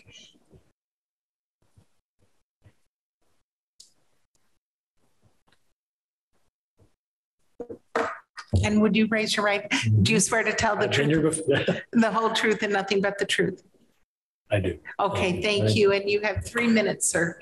Uh, first off, I, I need to say that we have no, nothing against Worms Way, nothing against, nothing against Arnold Asphalt. We, they're companies, they're businesses. Worms Way, as you heard before, was a very, very quiet, quiet company. But we have 35 residences in Windsor Private. And not a single one is in favor of any company moving in with trucks and noise and possible fumes and maybe some some environmental problems with what was supposed to be a lake. When this thing was originally developed in 1988 that was going to be a lake. And jim and kathy slaker who owned that property spent $300000 three uh, three $100,000 liners to make that thing hold water. And the Army Corps of Engineers gave up and it never could because of the karsts. But it still sits there as a retention pond for just about all kinds of aquatic life you can see. And we are very concerned about anything that can can leach into the ground because it's, it's very close. By the way, this area right here is actually a common area that butts up against this. I'm sorry. Yeah, that's a Speak- you common need to area. Speak into the microphone. Yeah, that's a common area. Those those black things around the edge there, that's where you can walk. You can walk behind Windsor Private area there. That's our property, and you can actually do uh, picnic benches out there and sit out there. And so that property, people are concerned about that being leached or encroached by any type of chemicals that might come out. So I've been a resident since 1994, and just drive out there sometime because it really is a hidden gem. It's beautiful. And but again, we're not anti-business. We're not. We just have to protect what we see as being a problem. We- We've got I-69 right now, and uh, that's the white noise, and we deal with that. But we just we just didn't want any uh, other noisy business coming on. Thank you. Thank you, Mr. McChick. And uh, sir, if you- as you come up, um, yes, please sign in and state your name. David Gent. Okay.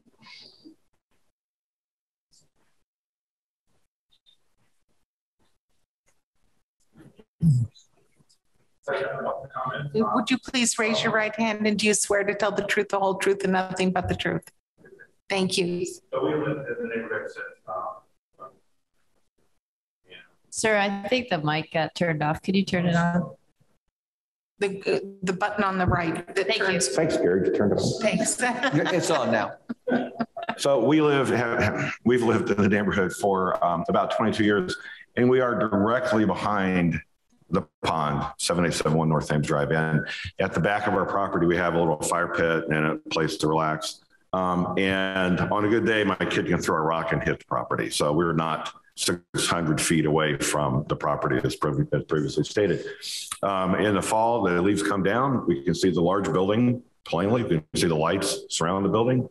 We can see the back garage doors. So if anything is parked in the back corner, this is what we're going to look at for four, five, six months of the year. Um, you know, other folks have stated worrying about what might come into the pond.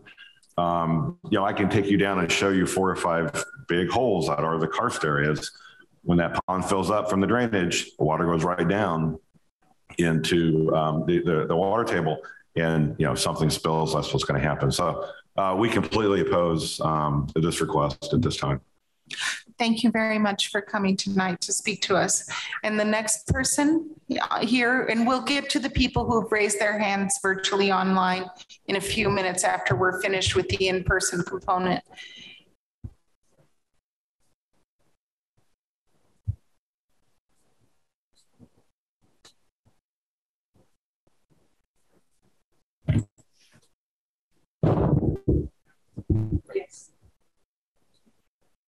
Will. So would you please state your name? Uh, Julia Booz. And uh, do you swear to tell the truth, the whole truth, and nothing but the truth? I do. Thank you. And you have three minutes. Okay. Um, I've been a um, resident in Windsor Private for 23 years. Um, and our biggest concern, my biggest concern is once they get the uh, variance, that is so wide open. And I understand, um, you know, Mr. Heydt wanting to sell his property. I'm a realtor. I understand it. I tried to sell it twice, but uh, there are people that could move into that property. I mean, there, it, it's pretty wide open what is allowed.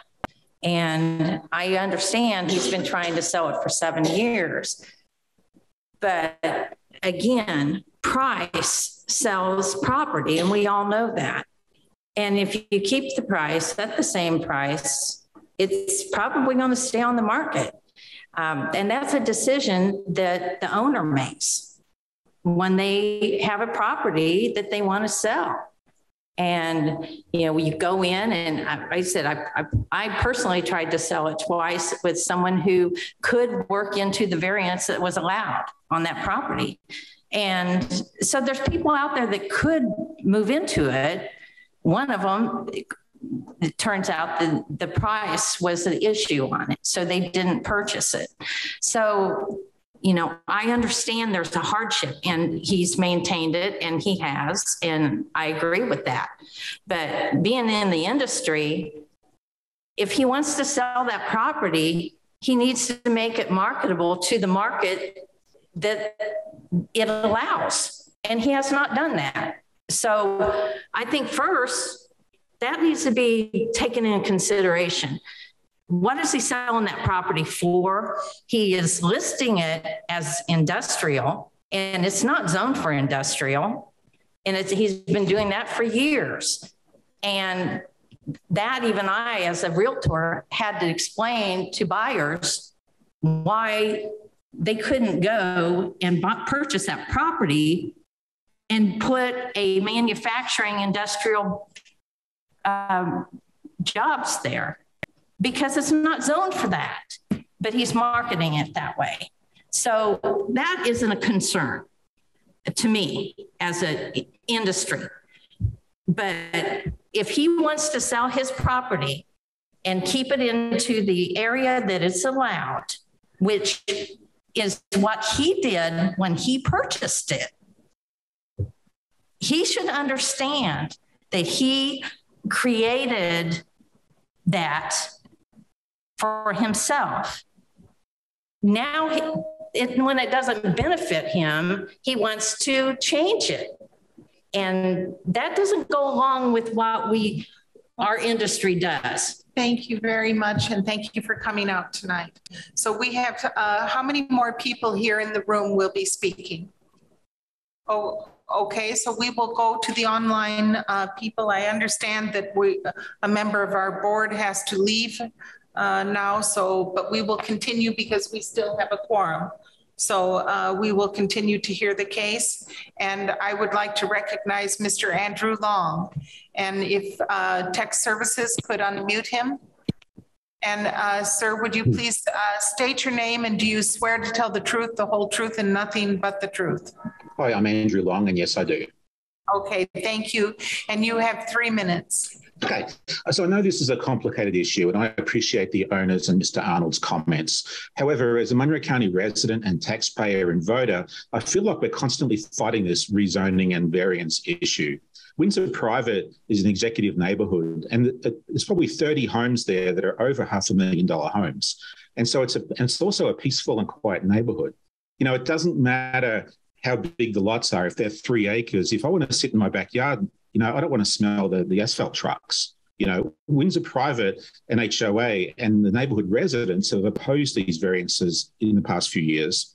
Um, and Monroe County officials um, have agreed with these, and the commissioners also have agreed that uh, these should not be rezoned or variances issued. It needs to stay as rural agricultural, which it currently is. The current property owners and buyers have tried variances uh, before, um, the current owners, I believe, are behaving dishonestly and they're constantly advertising their properties uh, as industrial zoned, which is not correct. Uh, you can do a search on the internet and see that everywhere. Um, the owner states $800,000 in costs maintaining, but that hardship is not the fault of us. Okay, that was their decision to do that. And as far as Mr. Arnold goes, you know, I respect that you know, it might be great for them and it might be closer for their family, but that's not a good reason. I mean, Arnold's an asphalt company and there are, and, and it's, it's not a good fit for this neighborhood. I mean, have you seen the photos of their current yard? I mean, it looks like a mess. And we don't want to have smelly and loud equipment. I mean, have you ever driven behind an asphalt truck and smelled the smell? It's awful. And it's going to fill our whole neighborhood with fumes and to- toxic fumes and smell as well as contaminating the groundwater. You know, we have that retention pond which animals drink from. Um, that, you know, they're going to have trucks disturbing our peace and quiet. Um, they're going to have lights on in their parking lot. Um, So, you know, Wayport Road area is fairly quiet. There are farmers and cyclists and families using it. Um, having asphalt trucks speeding along there will destroy this rural area, and it will also pose a safety risk for the residents. Um, there are many other properties in Monroe County that Arnold could purchase that is already zoned industrial or suitable for their type of, of role. Um, I understand that Guy Loftman made some comments earlier tonight on another matter, and he mentioned about he wants to protect the residents. Um, you know, this is a prime example of this. This is a residential, agricultural, and rural area, not industrial. And rezoning and spot zoning and variances um, are just not just not appropriate for this. And you know, if that was to happen, that would cause economic and unnecessary hardship for the Windsor private residents.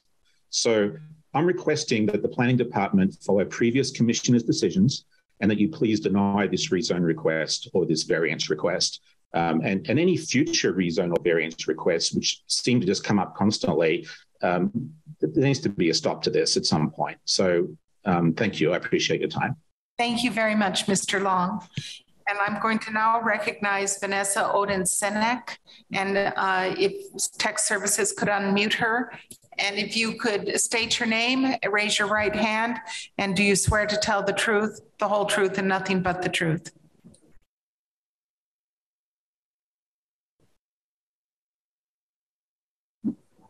Ms. Odin Senek, um, I think you have to press an unmute button on your screen.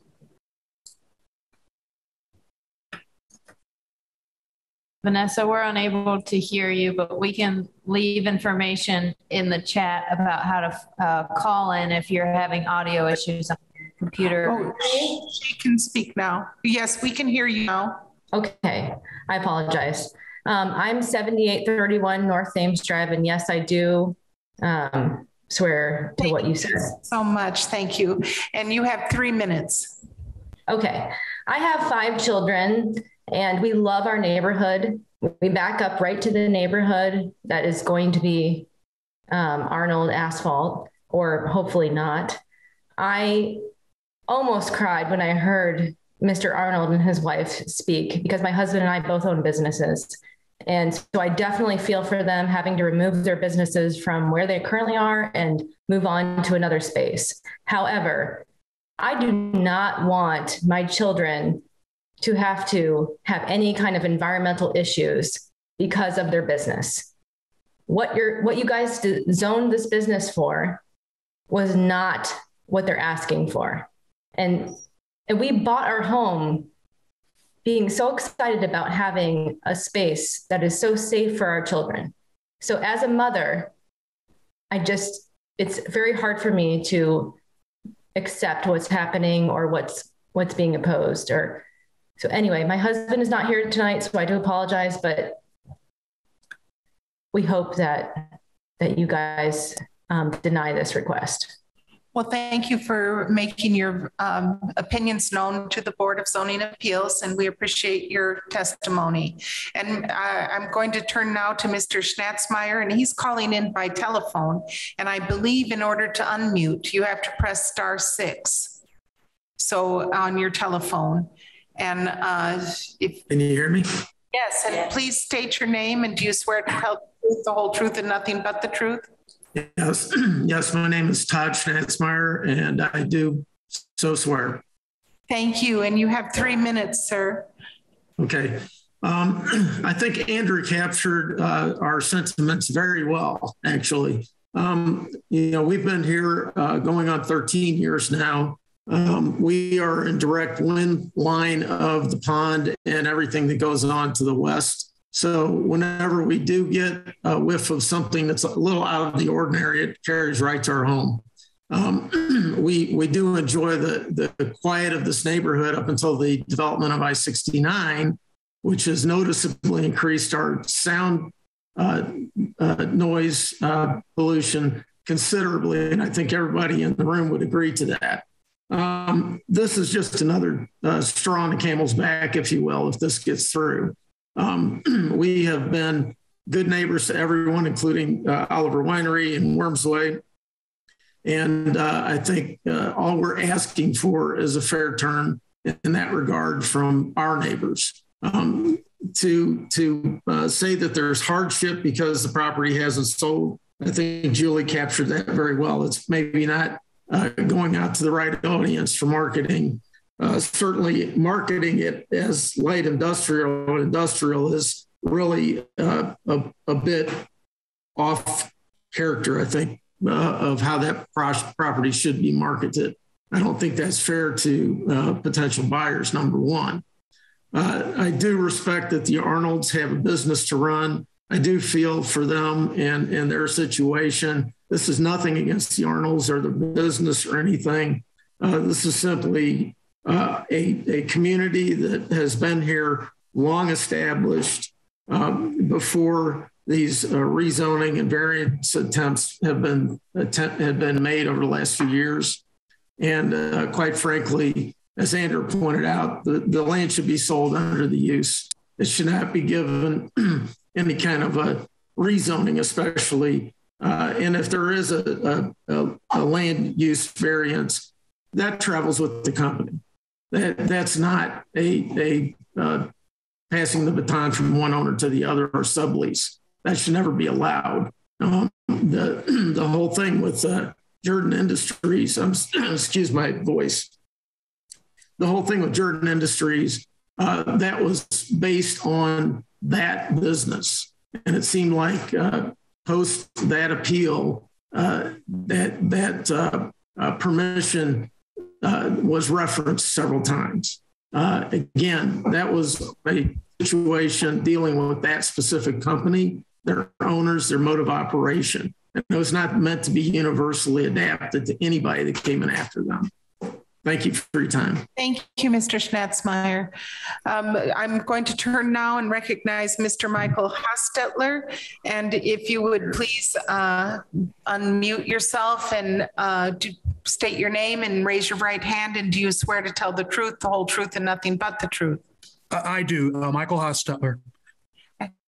And you have three minutes, sir. Thank you. Uh, Michael Hostetler, I'm a resident of the Windsor Private Homeowners Association, and we oppose uh, this change that's been requested. A uh, couple of points I'd like to make, and I agree with everything my, my neighbors have said, uh, much, much better than I ever could say uh, with every point that they made. I think it's important also to understand what kind of business we're talking about here.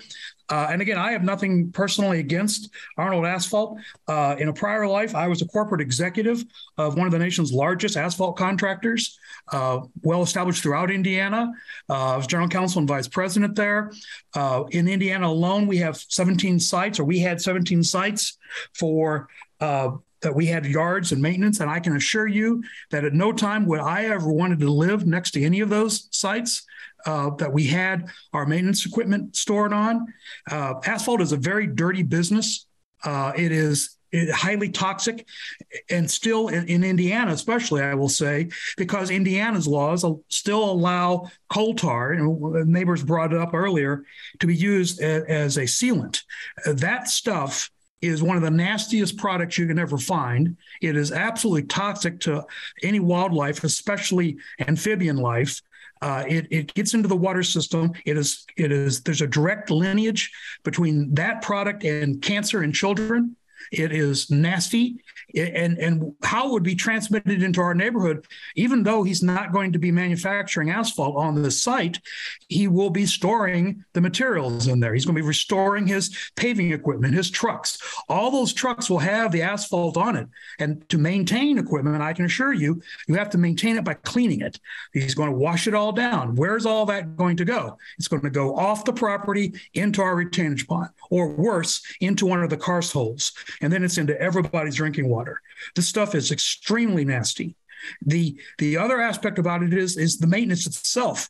I mean, you're you're talking about eh, loud, noisy firing up of equipment early in the morning, uh, security lights that you know 75 foot towers for security lights with light extruding everywhere. I can assure you we would never at my former employer we would never have even suggested we put our plants in anywhere but industrial sites. And if you look around bloomington look at eb paving milestone contractors rogers paving the, all their operations are in industrial areas. There's a reason for that It is nasty and it does not belong in our agriculturally rural, uh, zoned area. If you're not going to maintain a rural reserve area, then get rid of it.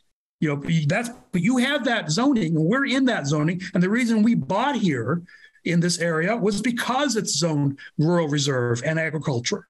We don't want this here. There's other places. I looked online today. There's 17 industrial spots available for uh, Arnold to move to. It, the fact that it's near their their family, that's nice for them, but not good for us. And I just, from an industry person, I, this is a really bad decision. Thank you very much, Mr. Hostetler. Uh, I don't know who owner is. Is that our people? No? Okay, so there's a person who's identified as having raised their hand whose name is owner on our screen. So if tech services could unmute that person and um, if you could state your name and uh, and swear to tell the truth, the whole truth, and nothing but the truth while raising your right hand. So, owner, Hello. what is your name? Hi, my name is Tammy Druckmiller. I am raising my right hand. Okay, and thank you. What could you say your last name again? Druckmiller. Druckmiller. Okay, Yes. thank you. And you have three minutes. Yes. Um, our property, my husband and I, our property is adjacent to the back of Worms Way. We are 7851 North Thames Drive. So um, it's not two football fields length um, where it would be. We are right here on the corner, a little above the corner by the pond. We're the last house there on the pond. Um, I guess my main concern is I am a realtor in the community, and I too have brought him, uh, brought the owner um, a church that would have liked to have rented. And he did express to me that he was not in the business to rent. And I understand that. I appreciate that. So the hardship um, of trying to help him financially with a rental, I felt like was better than nothing. Um, I also agree with all my neighbors. They have been great to state everything that we all feel as well. Um, we are close. We do not um, want to smell the asphalt. We do not want the agricultural um, water. What happens if there's a fire? I mean, there's just so many questions, and it is not zoned for this business. And as I believe the last person who spoke said, there are plenty of other places that are zoned for this business. Well, thank you so much for your testimony tonight, Ms. Druckmiller. And um, if it's okay, we'll move on now to Lisa Kinder, whose Yes. hand is raised. And if you would state your name, raise your right hand, and do you swear to tell the truth, the whole truth, and nothing but the truth? Hi, my name is Lisa Kinder. And um, yes, I'm telling the truth. Thank you very much. And uh, you have three minutes. Okay. Um, I very much appreciate the comments of my neighbors, and I agree with all the points that everyone made. I want to point out that this is largely an industrial area or a residential area. And if you look at, you know, with the introduction of I 69, we have these access roads out here now that it's highly utilized by people who are walking, biking. And this is the gateway into Bloomington. And Oliver Winery is such a well known area throughout the, the region here, not just Indiana that when my husband would have clients out of state, people would say, "Oh yeah, I'm going to go to Bloomington to go to Oliver Winery." And it, you know, w- we have this nice residential area that uh, supports the winery property. We have, uh, when Worms Way was here, it, it also kind of conformed to the neighborhood.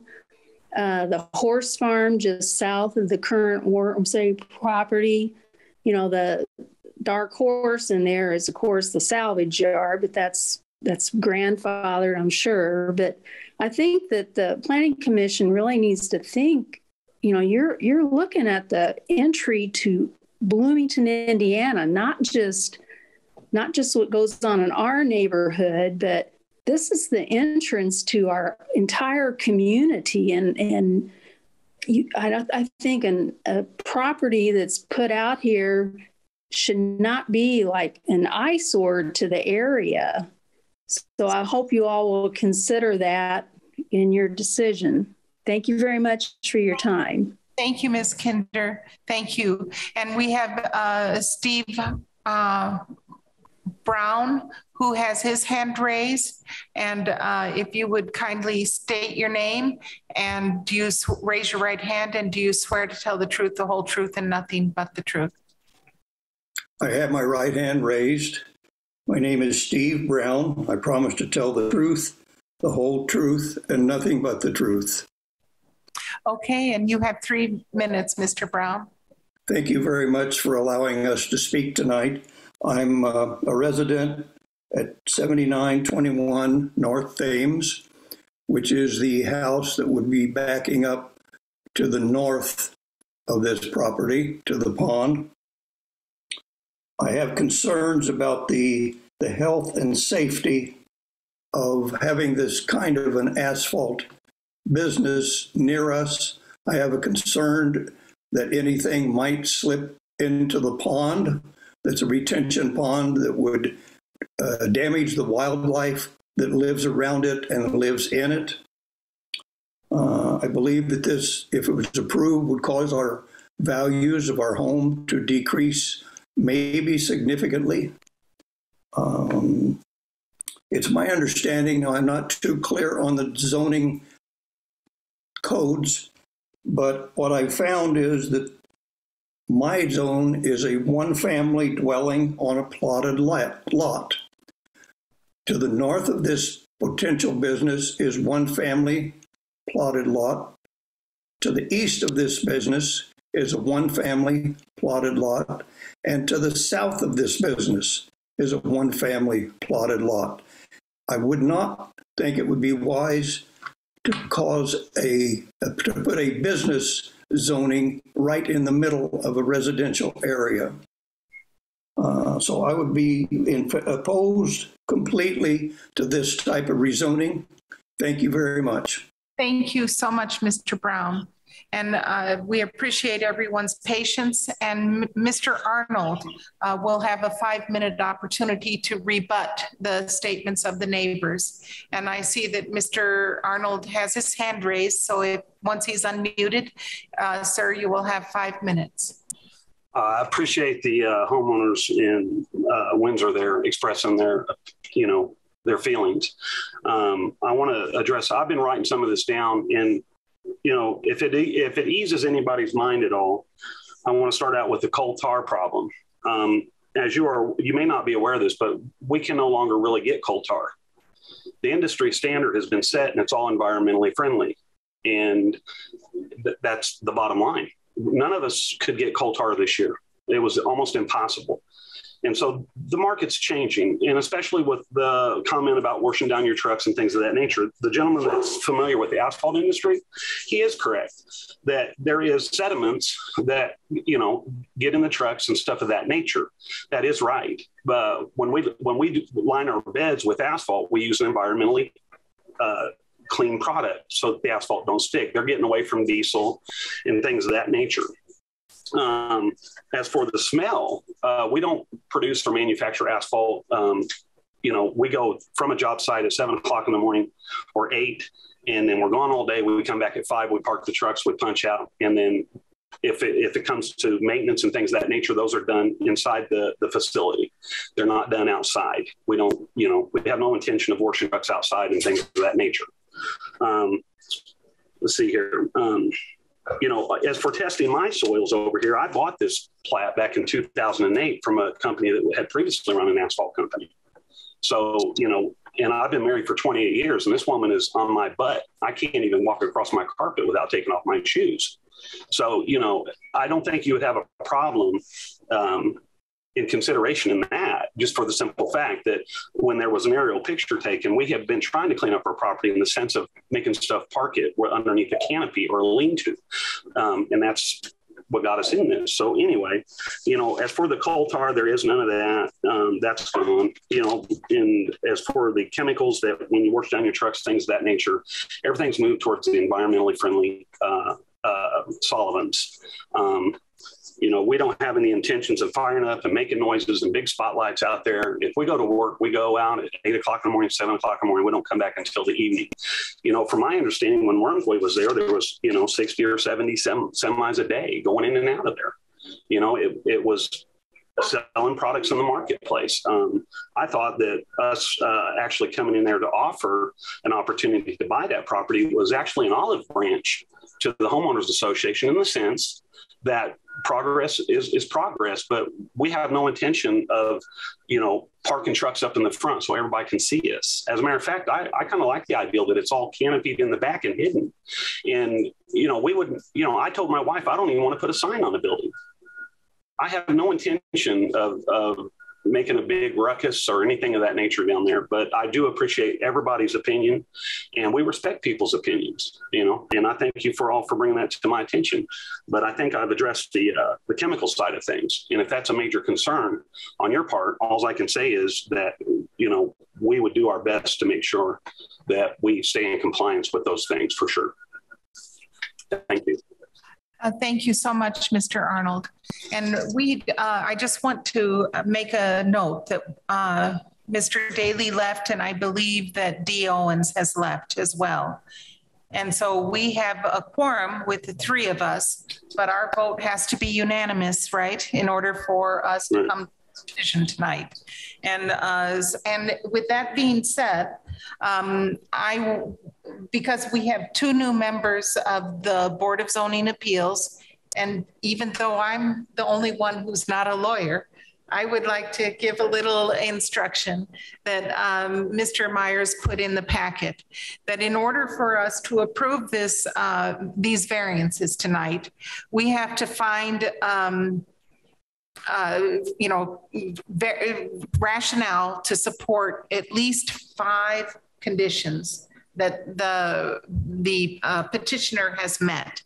In other words, he will have had to have proven that the approval will not be injurious to the public health, safety, and welfare of the community, and that he would have to have proven that the use and value of the area adjacent to the property included in the variance will not be affected in a substantially adverse manner. He would have had to have proven that the need for the variance arises from some condition peculiar to the property involved, and that also the strict application of the terms of zoning ordinance will constitute an unnecessary hardship if applied to the property for which the variance is sought.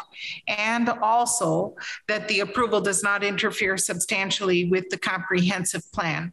And just because um, I'm the senior statesperson on this panel, I would just like to say that, um, first of all, Mr. Arnold, uh, you are a good employer and you fill an important community need here. And uh, we appreciate you and we value you as a community member. Um, uh, but these standards are here because this is the purpose of zoning. Uh, the zoning is uh, so that people can make investments in their own personal property without heightened risk. And um, I, uh, without saying much more, I've just, it, you know, stated those uh, principles. I would like to open it up to the, my colleagues on the board to see how they're feeling about these principles and uh, whether or not you think that the standard has been met that all five of these conditions can be, it's a strict standard. And I'm so sorry that it's a strict standard, but it's there to protect property owners. So I'd like to just see where my, um, my colleagues are falling. I, I find that I'm sympathetic, but uh, the, the, it sounds like the property has been Guy, can you make sure your mic is on? It sounds like the property has been highly uh, uh, valued, and that's great. But we've had a realtor, realtors testify that that it's overpriced for the purposes that are available. That it's advertised as industrial, which we know it's not. That's what we're that's what we're here for. Uh, I, I certainly we have ample evidence from my perspective that it will be injurious, injurious to the uh, uh, community and to the value of the adjacent houses. Uh, the the peculiar condition was created by the owner because he's he's built uh, uh, property that cry, might cry out for for non-agricultural uses, but he built it for limited agricultural uses. So uh, I don't think that the conditions for approval of the var- use variance have been met, and uh, it's my expectation that I will uh, vote against granting it. But I would like to see or hear what uh, Ms. Davidson has to say. well, I agree. Looking at these five criteria, and I have them right here in front of me as well, it is a very high standard. And I really, I haven't seen anything to believe the standard has been met. And in fact, it seems quite likely to me that uh, this couldn't be rezoned for light industrial for this kind of property in any way whatsoever. And that is what that business would be operating as, not as the agricultural zoning that it clearly is right now. So I feel the same uh, as Mr. Loftman and as uh, Ms. Clemens that I am very sympathetic to that uh, owner of the property, trying to figure out what it's going to be used for. The access has been changed because of the interstate, um, rimmed by very passionate homeowners who love their slice of heaven. There's no doubt about that. So um, I, I will say, just like Mr. Loftman, I'm inclined to deny this because these are extraordinary five circumstances and I cannot possibly see how they are met in this factual situation. Yes, and I would like to add, um, I know how difficult this is, and we're here to make the difficult decisions. Um, but and be, we do value you as a business member and as a community member and so um, you know and we know that this, that you have appealed to us for some remedy because this for you was an opportunity to further uh, your ethical and uh, longstanding business and service to our community. That being said, these other competing uh, interests of, you know, so many neighbors who've come out, I would say it's close to 100%, you know, that that matters to us. And that um, especially, you know, this, well, there's in each of these conditions, um, I don't believe that the standard has been met except Possibly for item C, the need for the variance arises from some condition peculiar to the property involved. In other words, it's vacant and it's been vacant, but um, that should not result in the um, injury, so to speak, to the neighboring properties. Not I you know I can't stipulate whether or not it would be chemically or environmentally harmful but they feel that it's harmful to their welfare and their well-being and to the value of their properties at least. And uh, and also this is a gateway to the city and the comprehensive plan and the um, planning purposes have kind of really focused uh, designations for um, making uh, the entryway into our community um, you know welcoming. And there are i believe other locations where this could happen. So i plan to vote no and i'm sorry to say that for mr arnold you know? Well and and for the owner. And for the I owner mean, yes. there's. There's and mr Heydt yes. Yes there's there's there's certainly hardship for mr Heydt and i i sympathize with with with him but under the circumstances, I am going to move to deny variance 2234 and variance 2236 Arnold General Contractor use variances for lots A and B at, uh, on, uh, on the properties at uh, 7850 and 7854 North Wayport Road. I will second that.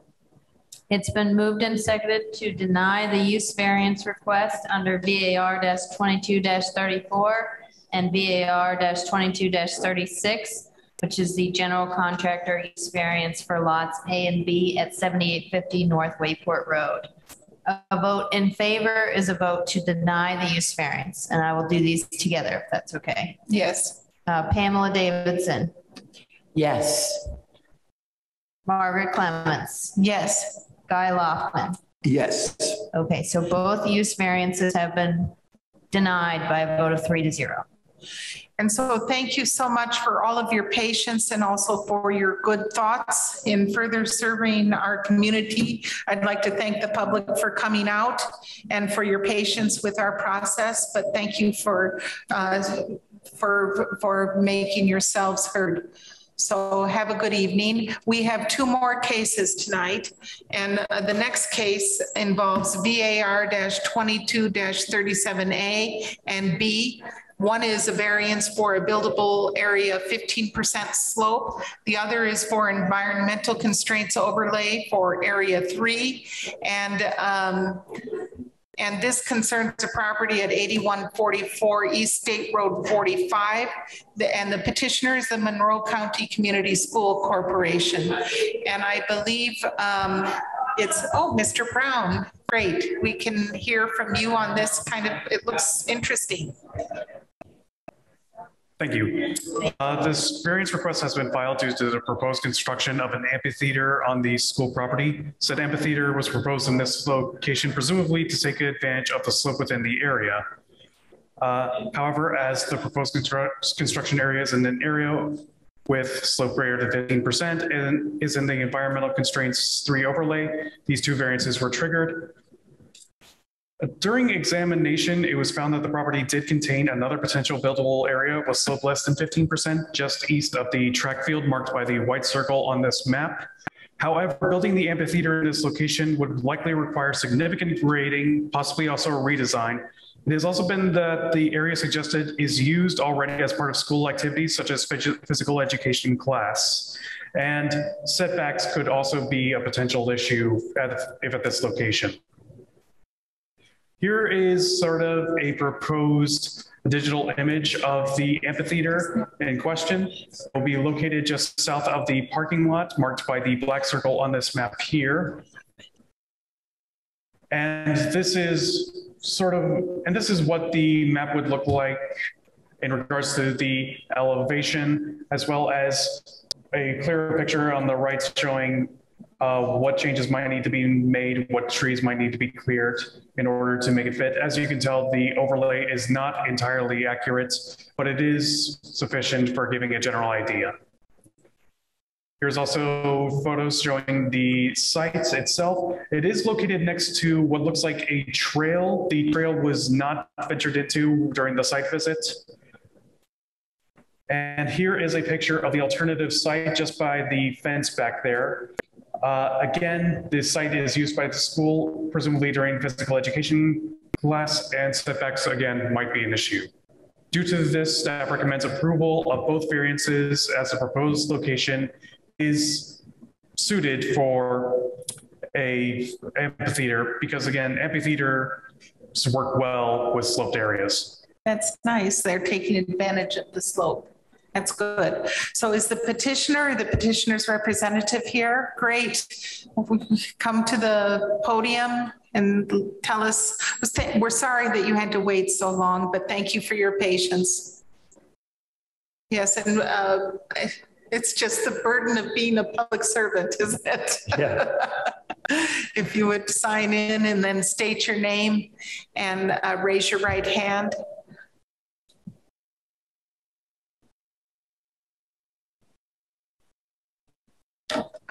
And do you swear to tell the truth, the whole truth, and nothing but the truth? I do. My name's Bill Riggert.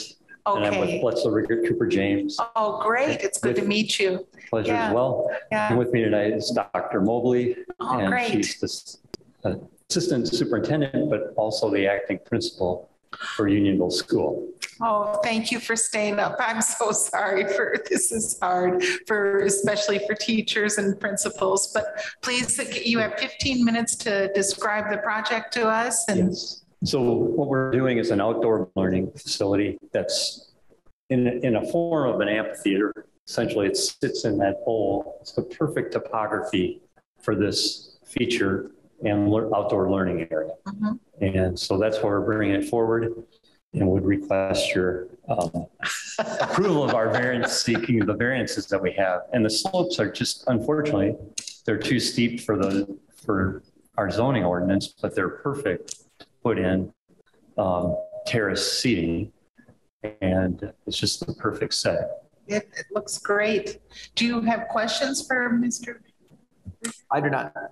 Yeah, it seems like uh, the topography fits the use, the purpose to perfection. Yeah. Yes, and uh, the design is really beautiful too. And we love to think of our children uh, being inspired by the design and then to have that gorgeous view of what makes Indiana so lovable. You know, it right. just looks fantastic to me. Um, and I just, you know, I'm that's very exciting to us. Sure. And yeah. Dr. Mobley may, may yes. have some things to add oh, about ed- outdoor education programs. oh, exciting. Great. Uh, please sign in and uh, st- state your name and raise your right hand when you're done.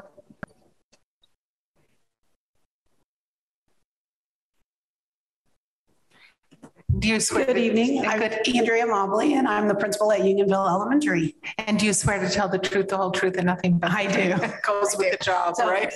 good evening, and um, thank you for having me here this evening. And I just want to tell you, I'm so excited about this outdoor learning pavilion and the opportunities it's going to give our students and give the community. I don't know if you know this, but Unionville has a focus on the Earth curriculum, and where E stands for the environment, and A for arts, and T for technology and H for health. Um, so, oh, I forgot A for art.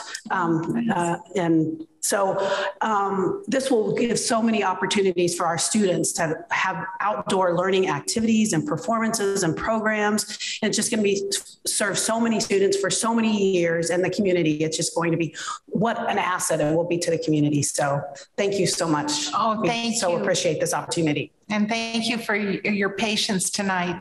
We do have the, we will open it up to the public to see if there's anyone still here, the diehards who would like to speak in favor of this petition. Is there anyone online? If you would raise your right hand or raise your virtual hand or press star nine. If you're there to speak against it, please make yourselves known. And so there's no one. So back to us. So is there further discussion with us or a motion? Um, I just want to say I've been privileged to come out to Unionville and bring a lotus blossom artist. And oh. it was such a great experience uh, from stem to stern. So kudos to what you're doing at that school. Yeah, that's great. That's really exciting. And the design is exciting. And we appreciate also the work of your firm, sir. You know, it's really a beautiful design. So uh, thank you for improving our community. Yeah. I think we're ready to uh, make a motion. I move that we approve variances 22-37A and 22-37B uh, for Unionville Elementary, the buildable area variance, and also the environmental constraints overlays as well. Is there a second? Second. Okay. All right, it's been moved and seconded to approve VAR 22 37A and 37B. That's the 15% and eco area three variances. Um, a motion in favor is a motion to approve. Guy Loftman. Yes. Pamela Davidson. Oh, yes. And Margaret Clemens? Yes. Okay, the motion is approved. And thank you again for waiting so long. Thank you. And we have one more case before the evening ends, and I believe Mr. John Laux has uh, made it back. And, oh, yes. And, and it would sure be nice to help uh, him further his project.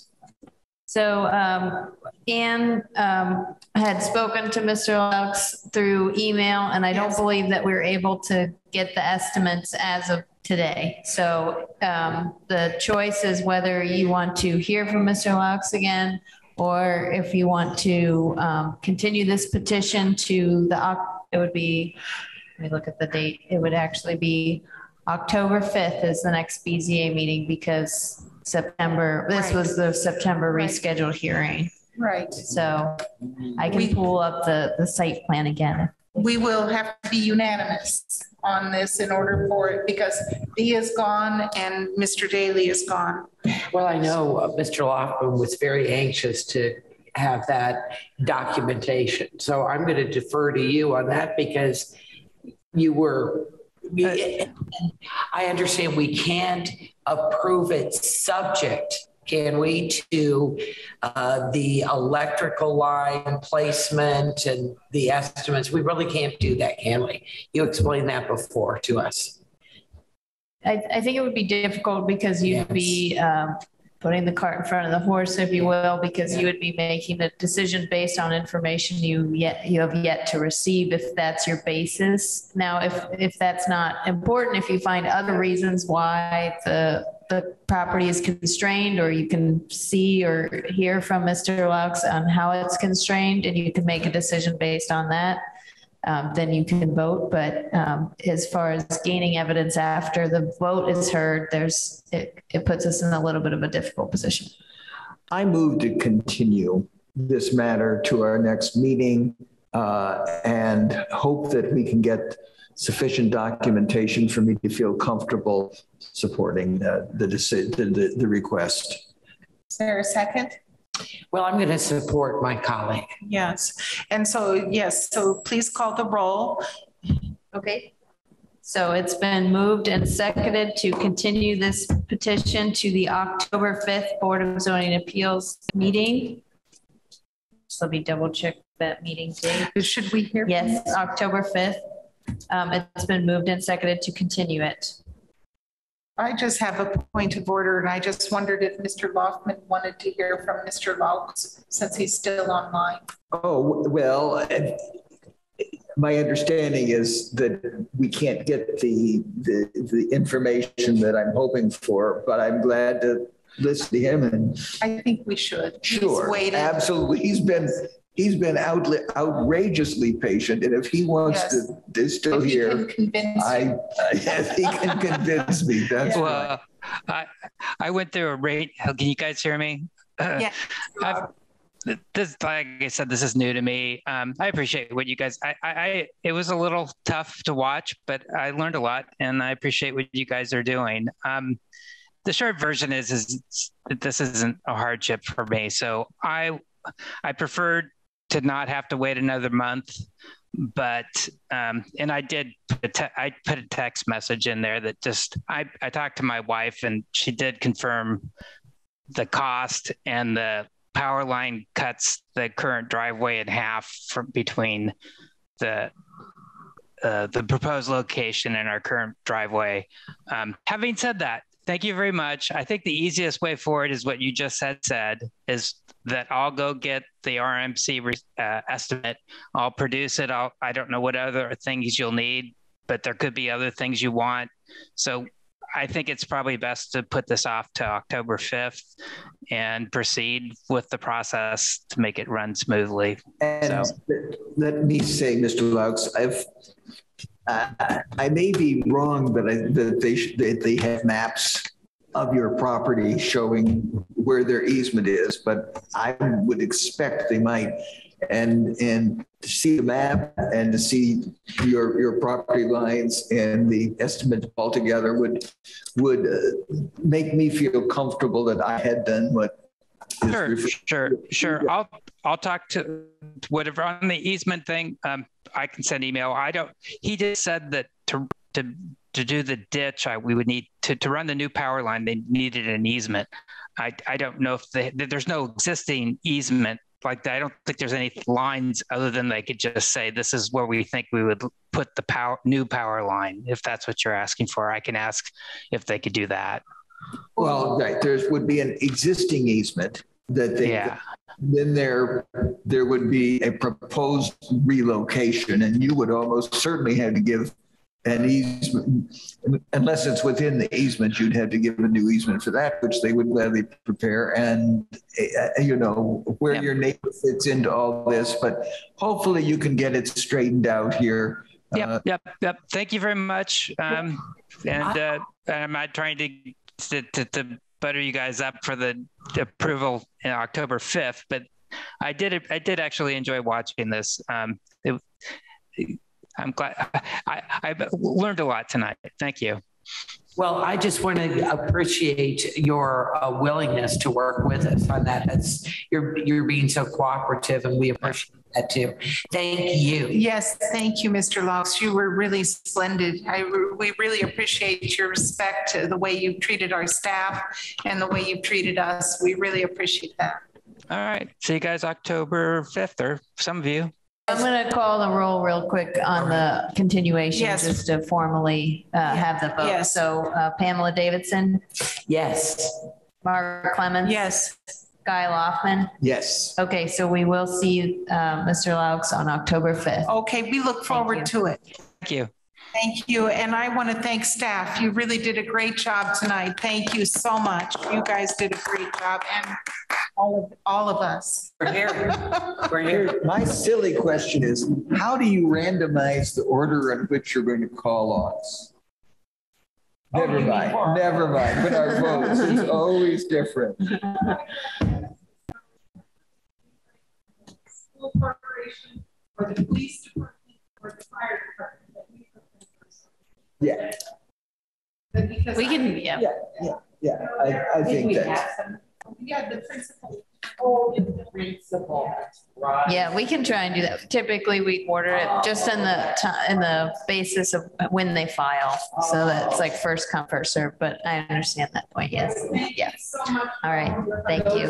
And I don't have any reports. Do you have any reports? No reports okay. from legal or planning. Thank and you. Any objection? Well, just do such a magnificent yeah. job. Yes.